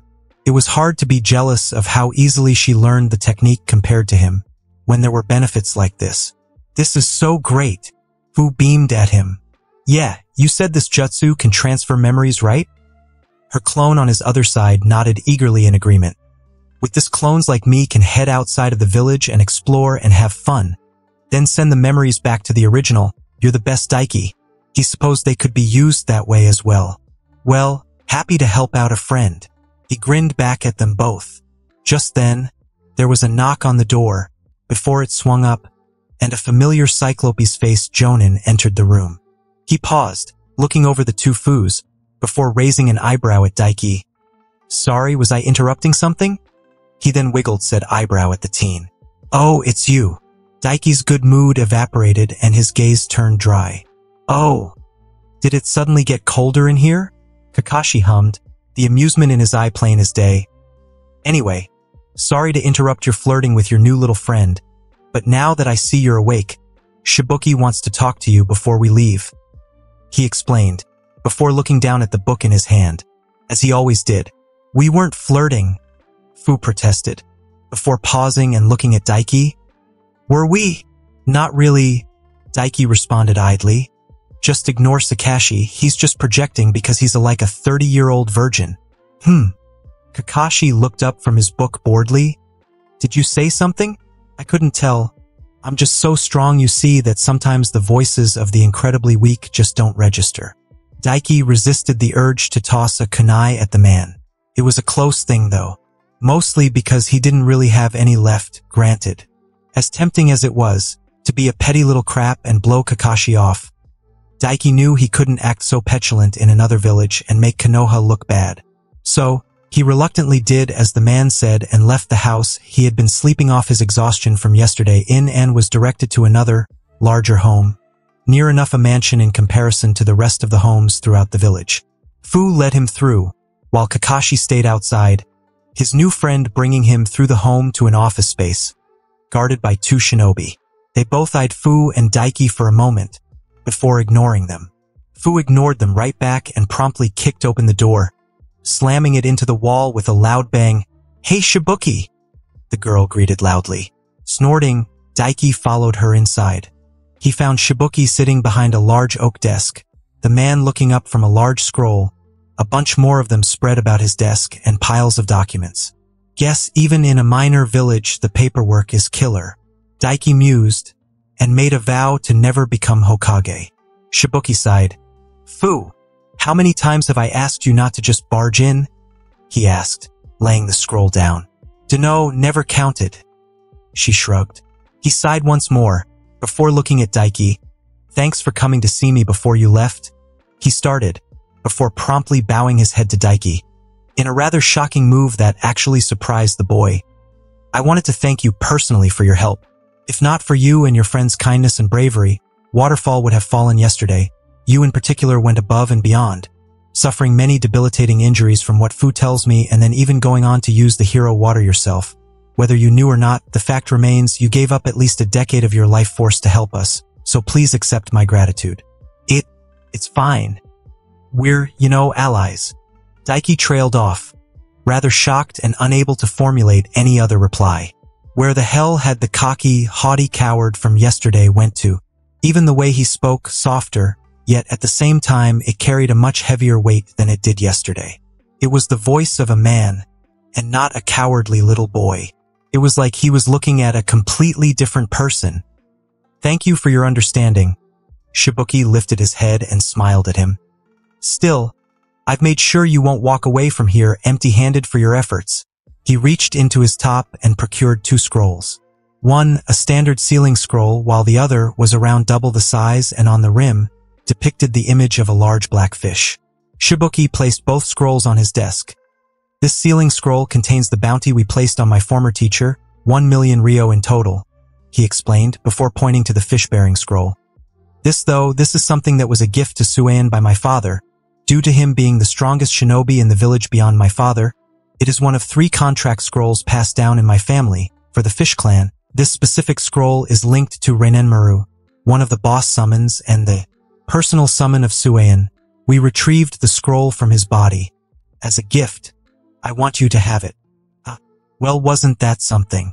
Renenmaru? Fu spoke up before he could, tapping her chin in thought. Isn't that one just like your summon? Can it like transform into a huge dragon? Yes, all the fish bosses are capable of using the dragon transformation technique. Shibuki nodded. Renenmaru is tied for the strongest of the clan with my own summon, perhaps even stronger nowadays. Though he is known for his particularly aggressive personality, he may just attack you if summoned, especially considering you killed Suien. A million Ryo and a fish that could turn into a dragon. Neat. He didn't really need a summoning contract, though he already had one. And he didn't know if signing it would cause issues with the Chameleon clan. You didn't happen to find the instructions for that water armor jutsu of his, did you? He'd happily take that instead. A dragon summon technically sounded freaking cool as crap, and if it could fly, that would be hella useful, and as a fish originally, it probably had access to water jutsu that would pair well with his lightning jutsu. But that water armor would be a safer bet. Because if it turned out the chameleons weren't cool with him signing another contract, he wasn't going to, so it would be useless to him. Better something he could for sure get use out of himself. Shibuki snorted. Heh, if only... The leader of Waterfall shook his head. It was quite the jutsu, wasn't it? If I could spread that jutsu through the village, we'd definitely be able to grow stronger overall, but sadly, no. Knowing my teacher, selfish as he was, he'd probably have destroyed anything remotely instructional on the technique once he learned it himself. Well, that sucked. Still, it wasn't like what he got was a bad haul or anything. He wondered idly for a moment if this Rainmaru would be able to teach that dragon transformation technique to Shiromari. He had mentioned he was born of a union between the Snake Clan and the Chameleons specifically. His father was actually Manda, in an attempt to breed an actual dragon. Granted, to do that, he would need to summon Shiromari, and he hadn't really gotten around to trying that out yet. He may have enough chakra to do so, but he couldn't exactly do that in another village, now could he? Hmm. Daiki thought of the best option to go with here. His eyes flickered briefly to the girl by his side. That may be a better option, actually. If Fu had a boss summon on her own side, she would have a lot more options if Akatsuki ever came calling. And he doubted Fu would begrudge him signing it later if things worked out with the chameleons on that front anyway. So, I can do what I want with this then? Daiki asked, picking the fish contract scroll up. It's yours to do as you please with, Shibuki confirmed. Alright then, Daiki nodded, then turned around and held the scroll out to Fu. Here, you have it, Fu? Uh, Shibuki trailed off in shock.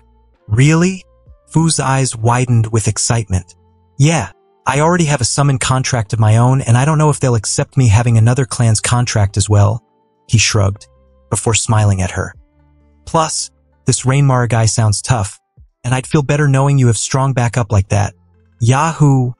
Fu accepted the scroll and jumped up and down excitedly. I always wanted a summon of my own. She then slammed into his side again, wrapping him in a massive hug. Wait, wait, wait. Shibuki spluttered, standing up abruptly. So fast his chair tipped over and hit the ground with a clatter. Are you sure about this? Rainmaru isn't a weak summon Daiki-san. His scales are so hard normal weaponry can't pierce him. He's faster than Suien was and has many water-style techniques. On top of that, upon assuming his dragon form, he can use fire-style techniques as well. Rainmaru really was impressive. Huh? Really living up to that boss summon title. Yeah, I'm sure of it, Daiki nodded. Though, I hope you don't mind me coming back for a visit now and then to Sifu. Shibuki shook his head inside, picking up his chair and sitting back down. Feel free, honestly, if it wasn't due to her status, I'd tell her to go with you in vacation in Konoha, keep her out of my hair for a while. He replied dryly. Sadly, it's not quite that simple. I will barely keep to testing our borders as is.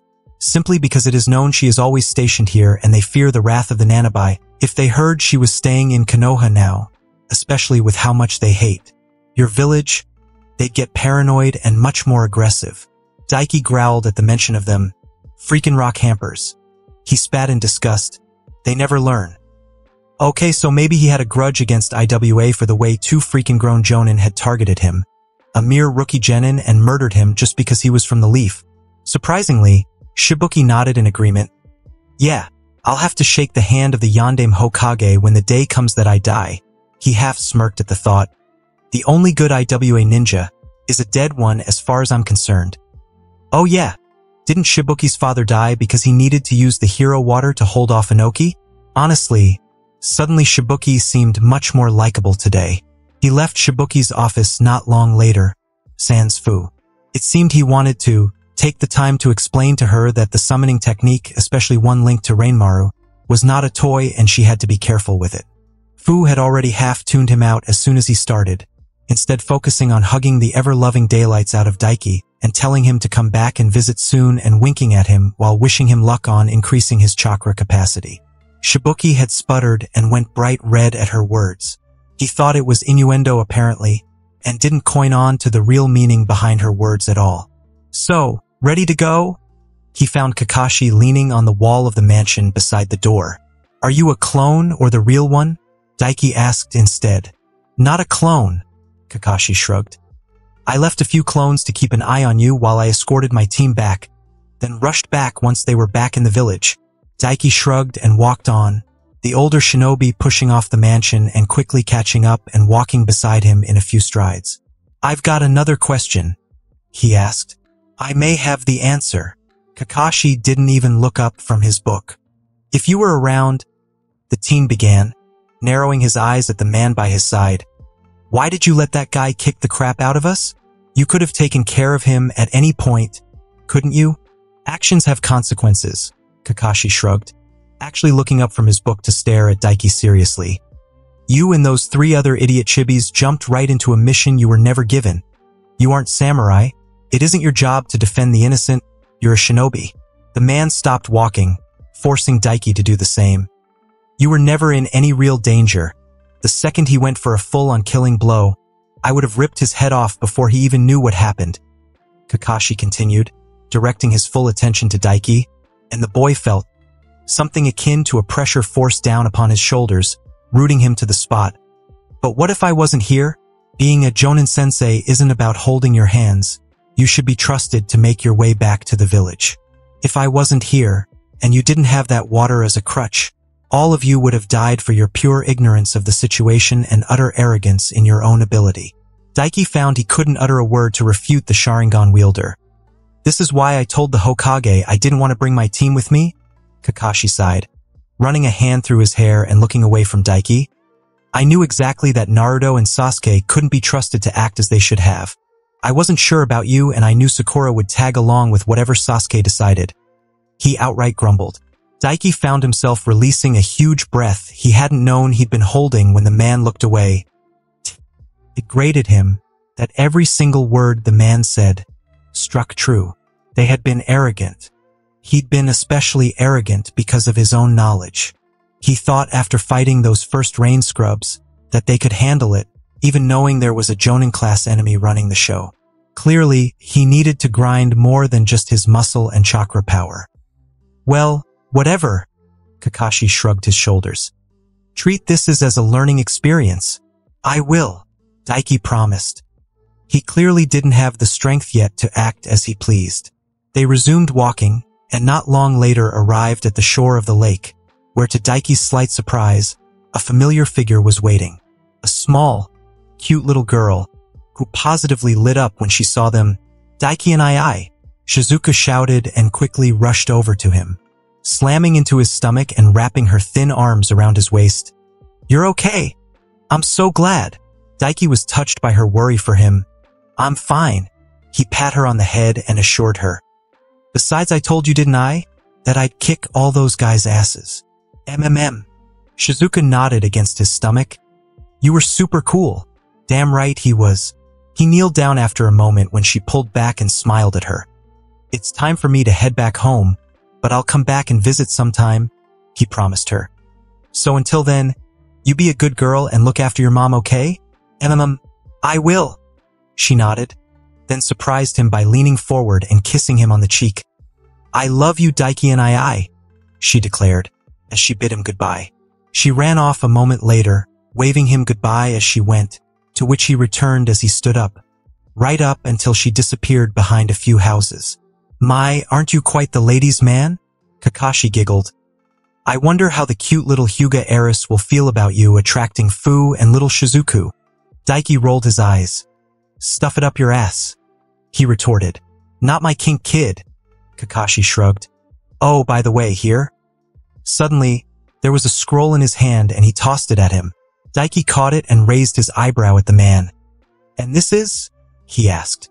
It was a sealing scroll, he could tell that much, but not what was in it. Mission pay, for a B rank, divided four ways between you Naruto, and Sakura, he explained. Oh, and the bounty for that Rain Kunoichi you killed and a little extra I found on her body that I'm sure you'll like. It better not be her underwear. Daiki deadpanned. Kakashi scoffed. As if a kid like you could appreciate the underwear of a mature, sexy lady. I don't want to hear that from an obvious virgin who turned to smut because he can't pull a girl. Daiki shot back. And that was how the return trip went back to Konoha. Quite the spiral of events I see. The Sandaime mused, leaning back in his chair. I'm beginning to think my team are cursed to be honest. Kakashi shrugged. Our missions tend to spiral like this a lot, don't they? It's only been twice. Sarutobi deadpanned at the younger man. That's practically a dozen, Kakashi shrugged. But yes, you don't need to worry about the girl. She seems perfectly stable, honestly. It's a wonder she's so upbeat with her situation. And the seal? The older man pressed. Seems to be holding strong, the copy ninja replied. Though you'd be better asking Daiki, seems he has an interest in sealing quite a bit. He caught on that she was a Jinchuriki at some point during the mission and got her to show him her seal. From what I gather, he copied it down to study. Sarutobi chortled, shaking his head in amusement. He sounds like another promising young man I once knew, he said. The similarities are quite astounding, really. The innate talent they both have with the sealing arts, coming to the rescue of a female Jinchuriki, even studying their seals. I suppose he resembles Minato-sensei a bit, Kakashi nodded in agreement. Though the attitude is all wrong, he's like some weird horrifying cross of Minato-sensei, Jiraiya-sama, and Guy. Honestly, it sounded like some form of horrifying monster to Kakashi.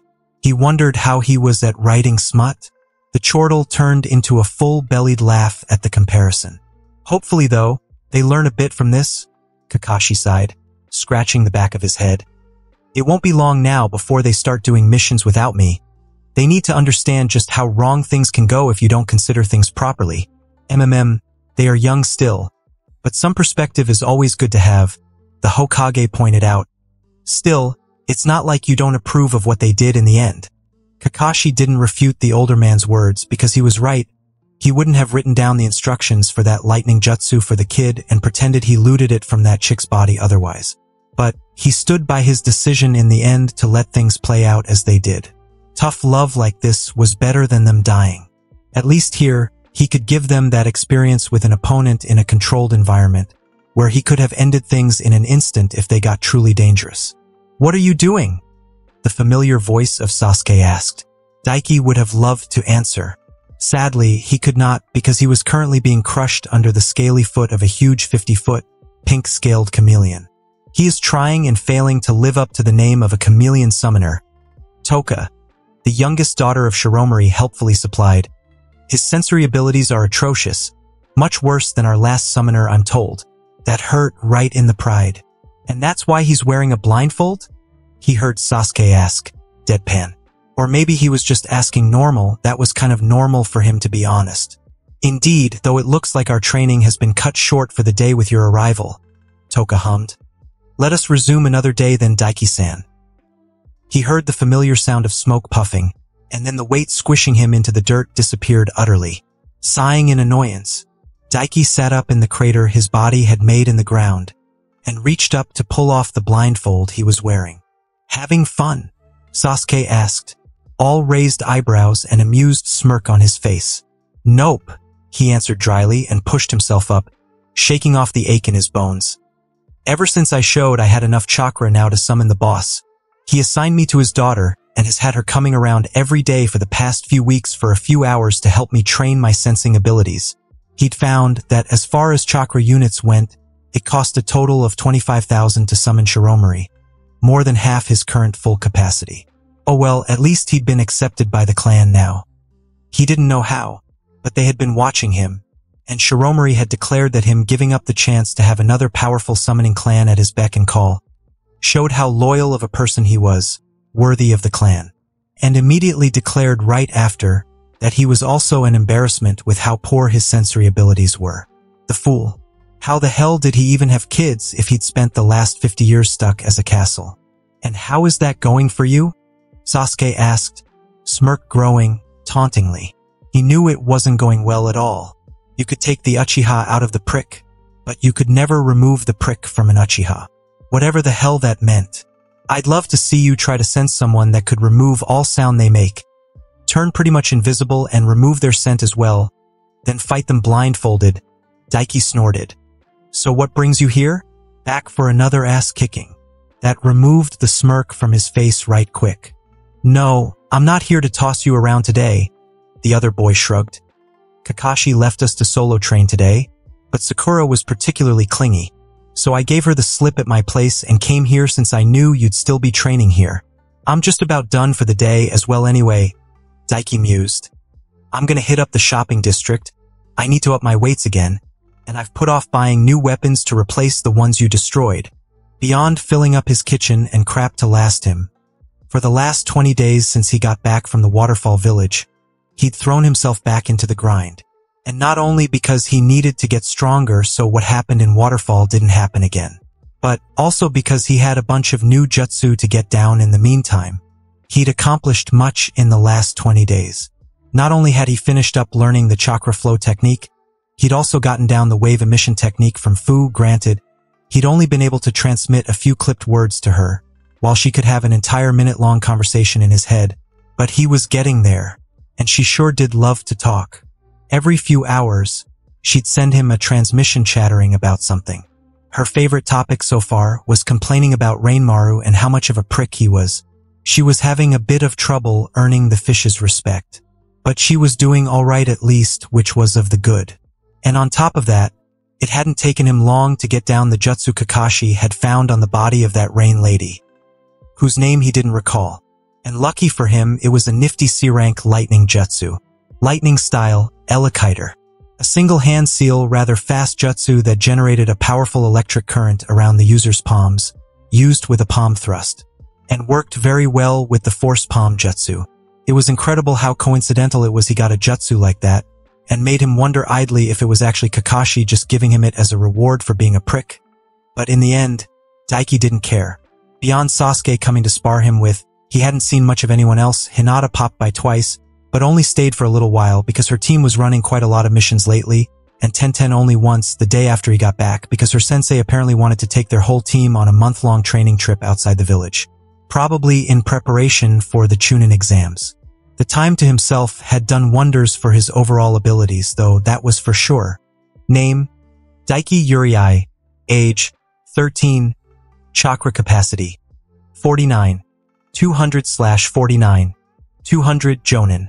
Strength 110 slash 510 Endurance 160 slash 510 Durability 110 slash 510 Agility 110 out of 510 Taijutsu 175 slash 500 Ninjutsu 195 slash 500 Genjutsu 10 out of 500 Bukijutsu 75 out of 500 Chakra Control 195 slash 500. Chakra affinities. Lightning. Adept you have stepped onto the path of roaring thunder.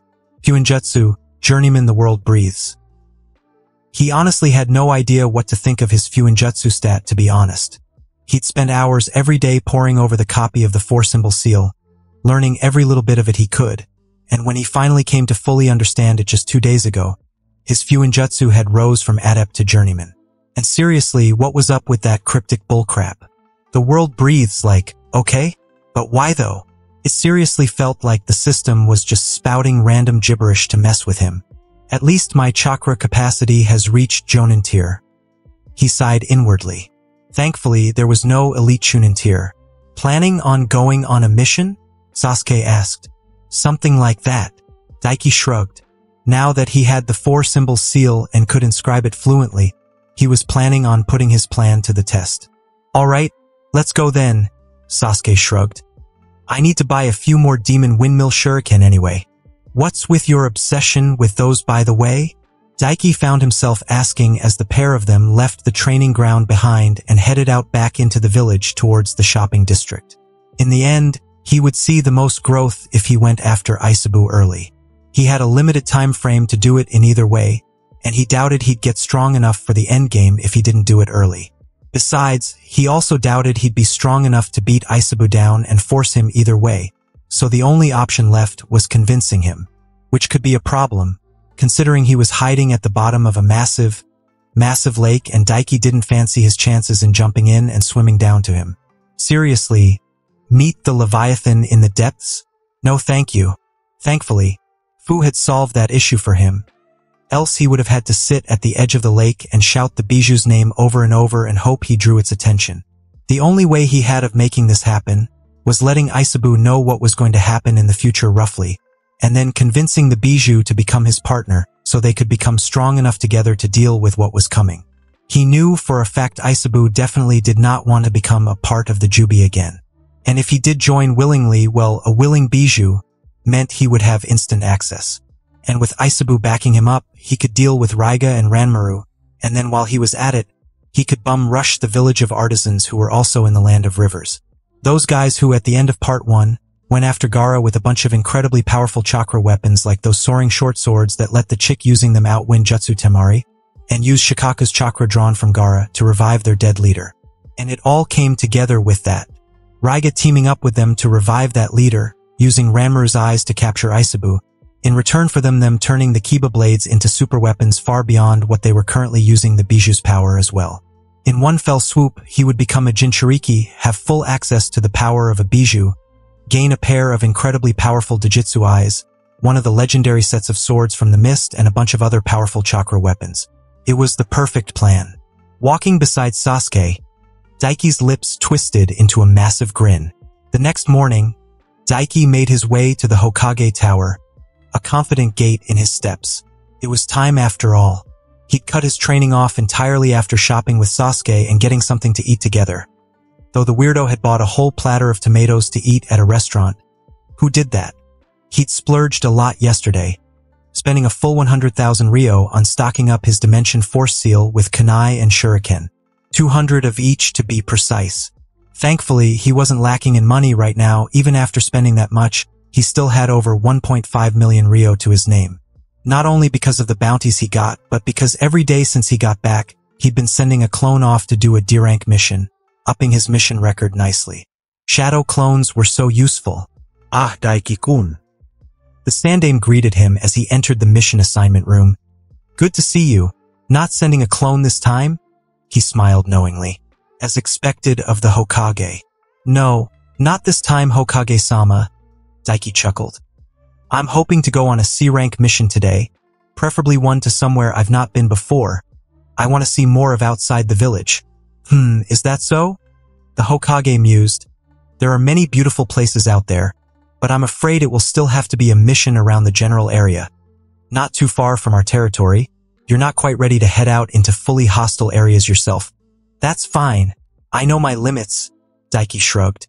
Have you got any missions into the land of rivers? Or somewhere around there? They're not far, and there's apparently lots of beautiful lakes and stuff there. They do indeed Daiki-kun, a splendid place to go fishing as well. You can find some lovely bass there. The Sandaime stroked his chin. I do we believe we have one mission there now that I think about it. To the land of artisans, actually. It's a general mission that comes in every few months. They want us to deliver a small shipment of specific ore that can only be found here in Fire Country. You should be able to handle that without much trouble. Daiki had to fight to stop the massive smile from spreading across his face. I'll take it, he agreed instantly. I've wanted to visit that place for a while, actually, to see about maybe getting my hands on a good chakra weapon. You and many others? The older man laughed lightly. I dare say you've saved up enough over the past month, though, to get your hands on a decent one so I wish you luck on your hunt. Thank you. Daiki replied simply, accepting the words humbly. After all, he would take all the luck he could get to help him with what he was planning on doing. You know, Daiki actually had to hand it to Isabu, if the giant turtle Bijuu was actually where he thought it was. If he was, the three-tailed Bijuu was literally chilling out in a lake, dead center between two of the main five hidden villages, the leaf and the sand. And not a single person had found out about it being there. Again, that's only if he's here. Daiki mused. Currently, he found himself atop a large cliffside pier that stretched out a bit over the humongous lake. It hadn't taken him any longer than a dozen or so hours to reach here.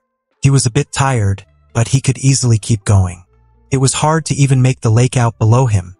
The second he entered the general vicinity of the lake, he found that there was a massive fog barrier everywhere, stretching out as far as the eye could see, which granted wasn't very far because of said fog.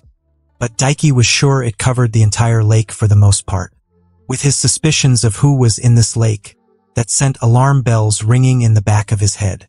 Isabu can create an illusionary mist after all and has water techniques who's to say he can't use the hidden mist jutsu as well. He's been with the mist village for decades. He thought to himself, arms crossed. And who else but a Bijuu would be able to sustain such a massive fog for any long period of time? Well, if his suspicions were right and this fog was created by a jutsu that was, alright, I can do this. He hyped himself up, there was a tremor in his legs that he was doing his very best to ignore, because plan or not, this was a freaking bijuu he was going to attempt to reason with. It was for that reason specifically that he had a clone waiting in the tree line, waiting to use the replacement technique with him if the negotiations at all went awry. If Isabu attacked him, he was booking it back to Konoha and informing the Hokage that he found the Three Tails while touring one of the lakes on his way to the village of artisans. Either way, he was going to crap on the Akatsuki over, and he would offer himself up as a Jinchuriki for Isabu if the Sandaime decided to seal the Sanbai. He'd just have to put Raiga and Ranmaru off until later in that case. It was still a bijuu. Daiki slapped his cheeks. Don't pussy out! He told himself before hesitation could settle in fully. The strength he'd earned through the grind would see him through, one way or another. Daiki made a single hand seal and focused his chakra, before extending both hands outwards towards the lake. From his hands, rippling waves of sound began to emanate down towards the lake. The wave transmission jutsu was an interesting thing. One had to know the specific chakra frequency of someone if they were trying to send a message to them alone. But, if not set to any frequency, the technique transferred the message to every living thing within the vicinity of the sound waves, which was what he did to make sure Isabu got the message. A simple message, five words, repeated over and over. Isabu, I've come to bargain. He transmitted the message over and over. Thankfully for Daiki, the lake, while massive, wasn't anything compared to the distance between the Leaf and Waterfall villages, and so he didn't need to expend anywhere near the amount of chakra for this as he did when trying to send messages to Fu. He expected he would be here for a while. After all, he was sure Isabu, if he was here, would hear the message and have to process the fact that somebody out there knew his name, his name that should only be known to his siblings and the Sage of Six Paths. Then take the time to contemplate if this was a trap or a massive resounding splash of water shot through the air. Nay, calling it a splash of water did it no justice at all. It was like a gargantuan geyser that could pulverize a mountain. Suddenly just shot up from the depths of the lake and roared up into the heavens piercing up through the clouds themselves. Or so he assumed since he couldn't actually see that far up with the fog and all. And from within the massive geyser, a huge, titanic shadow seemed to seep up through it and become visible even through the fog. A split moment later, the fog and geyser both seemed to dissipate almost instantly and Daiki's mouth hung low as he stared up into a terrifying, gleaming yellow and red eye surrounded by concentrated rings almost akin to the Rinnegan in aesthetics. Easily as large as Shiromari, if not larger, the huge head of the Sanbai stared down at him, its single eye pinning him in place with the sheer weight its mere presence exuded. Holy crap, this was a bad idea. For a moment, neither spoke. Daiki because he couldn't actually muster the willpower to at the moment, and Isabu because the giant shelled bijuu seemed to be examining him. The one to break the silence was the turtle. Human. How do you know my name? Isabu spoke, the bijuu's voice was distinctly male, with a calm bass timbre to it. It echoed powerfully, yet was not booming. Daiki opened and closed his mouth, floundering for a moment before gritting his teeth. What was the point of being one with the grind if he was going to biatch out at a critical moment like this? Through some bad luck that worked out well for me, Daiki soldiered on. I'll be blunt, you and your siblings, the other bijuu, are in danger. The only reaction Isabu gave to his words was one single, slow, languished blink. Is that so? The bijuu responded simply. And how does this change anything? We are always in danger. You humans are always chasing us, sealing us away for your own benefit. The fact you know I am here is a threat in of itself to me. Well, he wasn't wrong. You're not wrong, Daiki said as such. But this goes beyond even that. I'll be straight with you, big guy. I've seen the future and what's going to happen in the next few years. It isn't pretty. I came looking for you because I need your help, and you need mine. Not an unheard of power. Isabu inclined his head slightly in a nod. But tell me, how does this pertain to a danger to me? A few years, a few decades, it makes little difference to me, another shinobi war perhaps. Shall I be caught and sealed again? You're remarkably at ease about the thought of being sealed inside a Jinchuriki again. He couldn't help but point out. Isabu tilted his head to the side slightly. Should I not be? He asked. In the end, whatever human I'm sealed into will die at some point, and I'll be sealed again or get a chance to escape. Either way, humans come and go, but we Bijuu always come back. Daiki grimaced. Yeah, that's kind of the thing, he began. If things don't go in a specific way in the future, which only happens because of a lot of luck, none of you will come back. All that will remain of you is the Jubi. Isabu's one single eye that had been gazing down at him calmly, almost boredly, flew wide open in shock. What? How? That is impossible. Isabu's cool was completely lost. Daiki swallowed. Even just a narrow of this guy's eye was terrifying. No killing intent needed. Not if someone like Madara Uchiha has the Rinnegan and can summon the Gedo Mazo. He refuted. Isabu froze completely. The, the Rinnegan, just like father? The huge shelled Bijuu trembled in place, and Daiki bore witness to his trio of enormous armored tails jerking back and forth in the water in clear agitation. Such a simple gesture, creating thick roiling waves in the lake's surface. Madara Uchiha passed on his Rinnegan when he died to an Uzumaki child to use as a pawn and has had a subordinate manipulating things in the background. Daiki pushed on. You should know him well. He was mind controlling your former host, Yagura. Yes, him. I remember him. But why? I don't understand what the point of that was now that you have told me this. Isabu murmured, confused. If their plan is to bring back the Jubi, why not just capture me then? To cause chaos, Daiki answered. They're pitting the villages against each other, while creating an organization of S-rank shinobi, all for the purpose of capturing all of your siblings. And well, that guy has a specific grudge against you in particular. I see, Isabu replied simply, seemingly deep in thought. But why does he have a grudge against me? Because he was in love with your Jinchuriki before Yagura? Daiki said bluntly. The girl you were forced into, a former Kunoichi of Konoha, are dash. Rin, yes, I remember. Isabu sighed, single eye closing. I see, I understand. There are only two questions I must ask of you. I'll answer if I can. Daiki shrugged. He found himself becoming much more comfortable talking to the Bijuu as time went on. He just had to grind through the conversation and adapt to the presence of the terrifyingly powerful giant turtle. That was all. Why does Madara Uchiha want to reform the Jubi? Isabu asked. It is an ancient, mindless beast that's only purpose in life is destroying all in its way. Daiki shrugged. He wants to be the new sage of six paths, he answered. He thinks with the Rinnegan and being the Jinchuriki of the Jubi, he'll reach the same level as the original sage of six paths. A shuddering breath exhaled through the guard over Isabu's mouth. How foolish, what a contemptible man. The Bijuu spat, the first hint of anything rude leaving his mouth at all before the giant turtle sighed and met Daiki's eyes again. Very well, my final question. Why did you seek me out to tell me this? What do you mean by you need my help? Daiki winced. Yeah, that's the part you're not gonna like, he sighed, before shrugging and chugging along. There's nowhere you can hide. Not even your personal little dimension thing. The guy who controlled Yagura has a space-time ninjutsu that lets him break into things like that as well. So you even know about that ability of mine? I see. Isabu mused, but said nothing else, letting Daiki continued. He took a deep breath and decided to just put it out there, like ripping off a band-aid. I'm planning on doing everything I can to get strong enough to beat them and make sure they can't revive the Jubi, he put out there. Then narrowed his eyes at Isabu and made sure the Bijuu made sure he was being absolutely serious.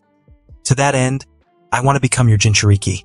No, not just a simple Jinchuriki, the only way this will work is if you willingly join me and ally with me, allowing me to become a perfect Jinchuriki. Isabu said nothing, and silence echoed between them. Daiki crossed his arms and held the Bijuu's gaze. I have more options I can pursue to getting stronger, but becoming a Jinchuriki will speed up my training immensely, he stated.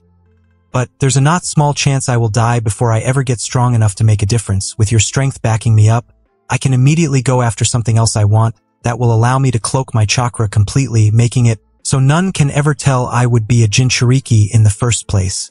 Even if Madara stood right next to me and stared at me with the Rinnegan. For all the abilities Ranmaru's eyes had, the one that Daiki most wanted was the ability to cloak the user's chakra signature so thoroughly not even the Byakugan could see through it at point-blank range. With those eyes, not a single person would be able to tell he was a Jinchuriki unless he used Isobu's chakra right in front of them. Finally, Isobu spoke. You speak quite confidently of your plans, the Bijuu hummed, but you realize what is needed for you to become a perfect Jinchuriki? A full partnership between us would mean nothing blocking my access from you, the only purpose of a seal would be to hold me, not block me from leaving. The implications there were heavy. He would have to be willing to trust Isobu with his life. I'm not a little biatch Isobu, and I don't plan on leaving my fate and the fate of the world on the prophecy boy said to save the world and bring peace and all that nonsense. It's hard to when you've grown up beside the idiot, Daiki smirked. And I wasn't sure if he even did win in the end. I didn't see that far. And with the enemies that are coming, so strong they make the ruling Kage look like wet behind the ears, Genin. I need all the strength I can get. Without you, that's the best I'll amount to.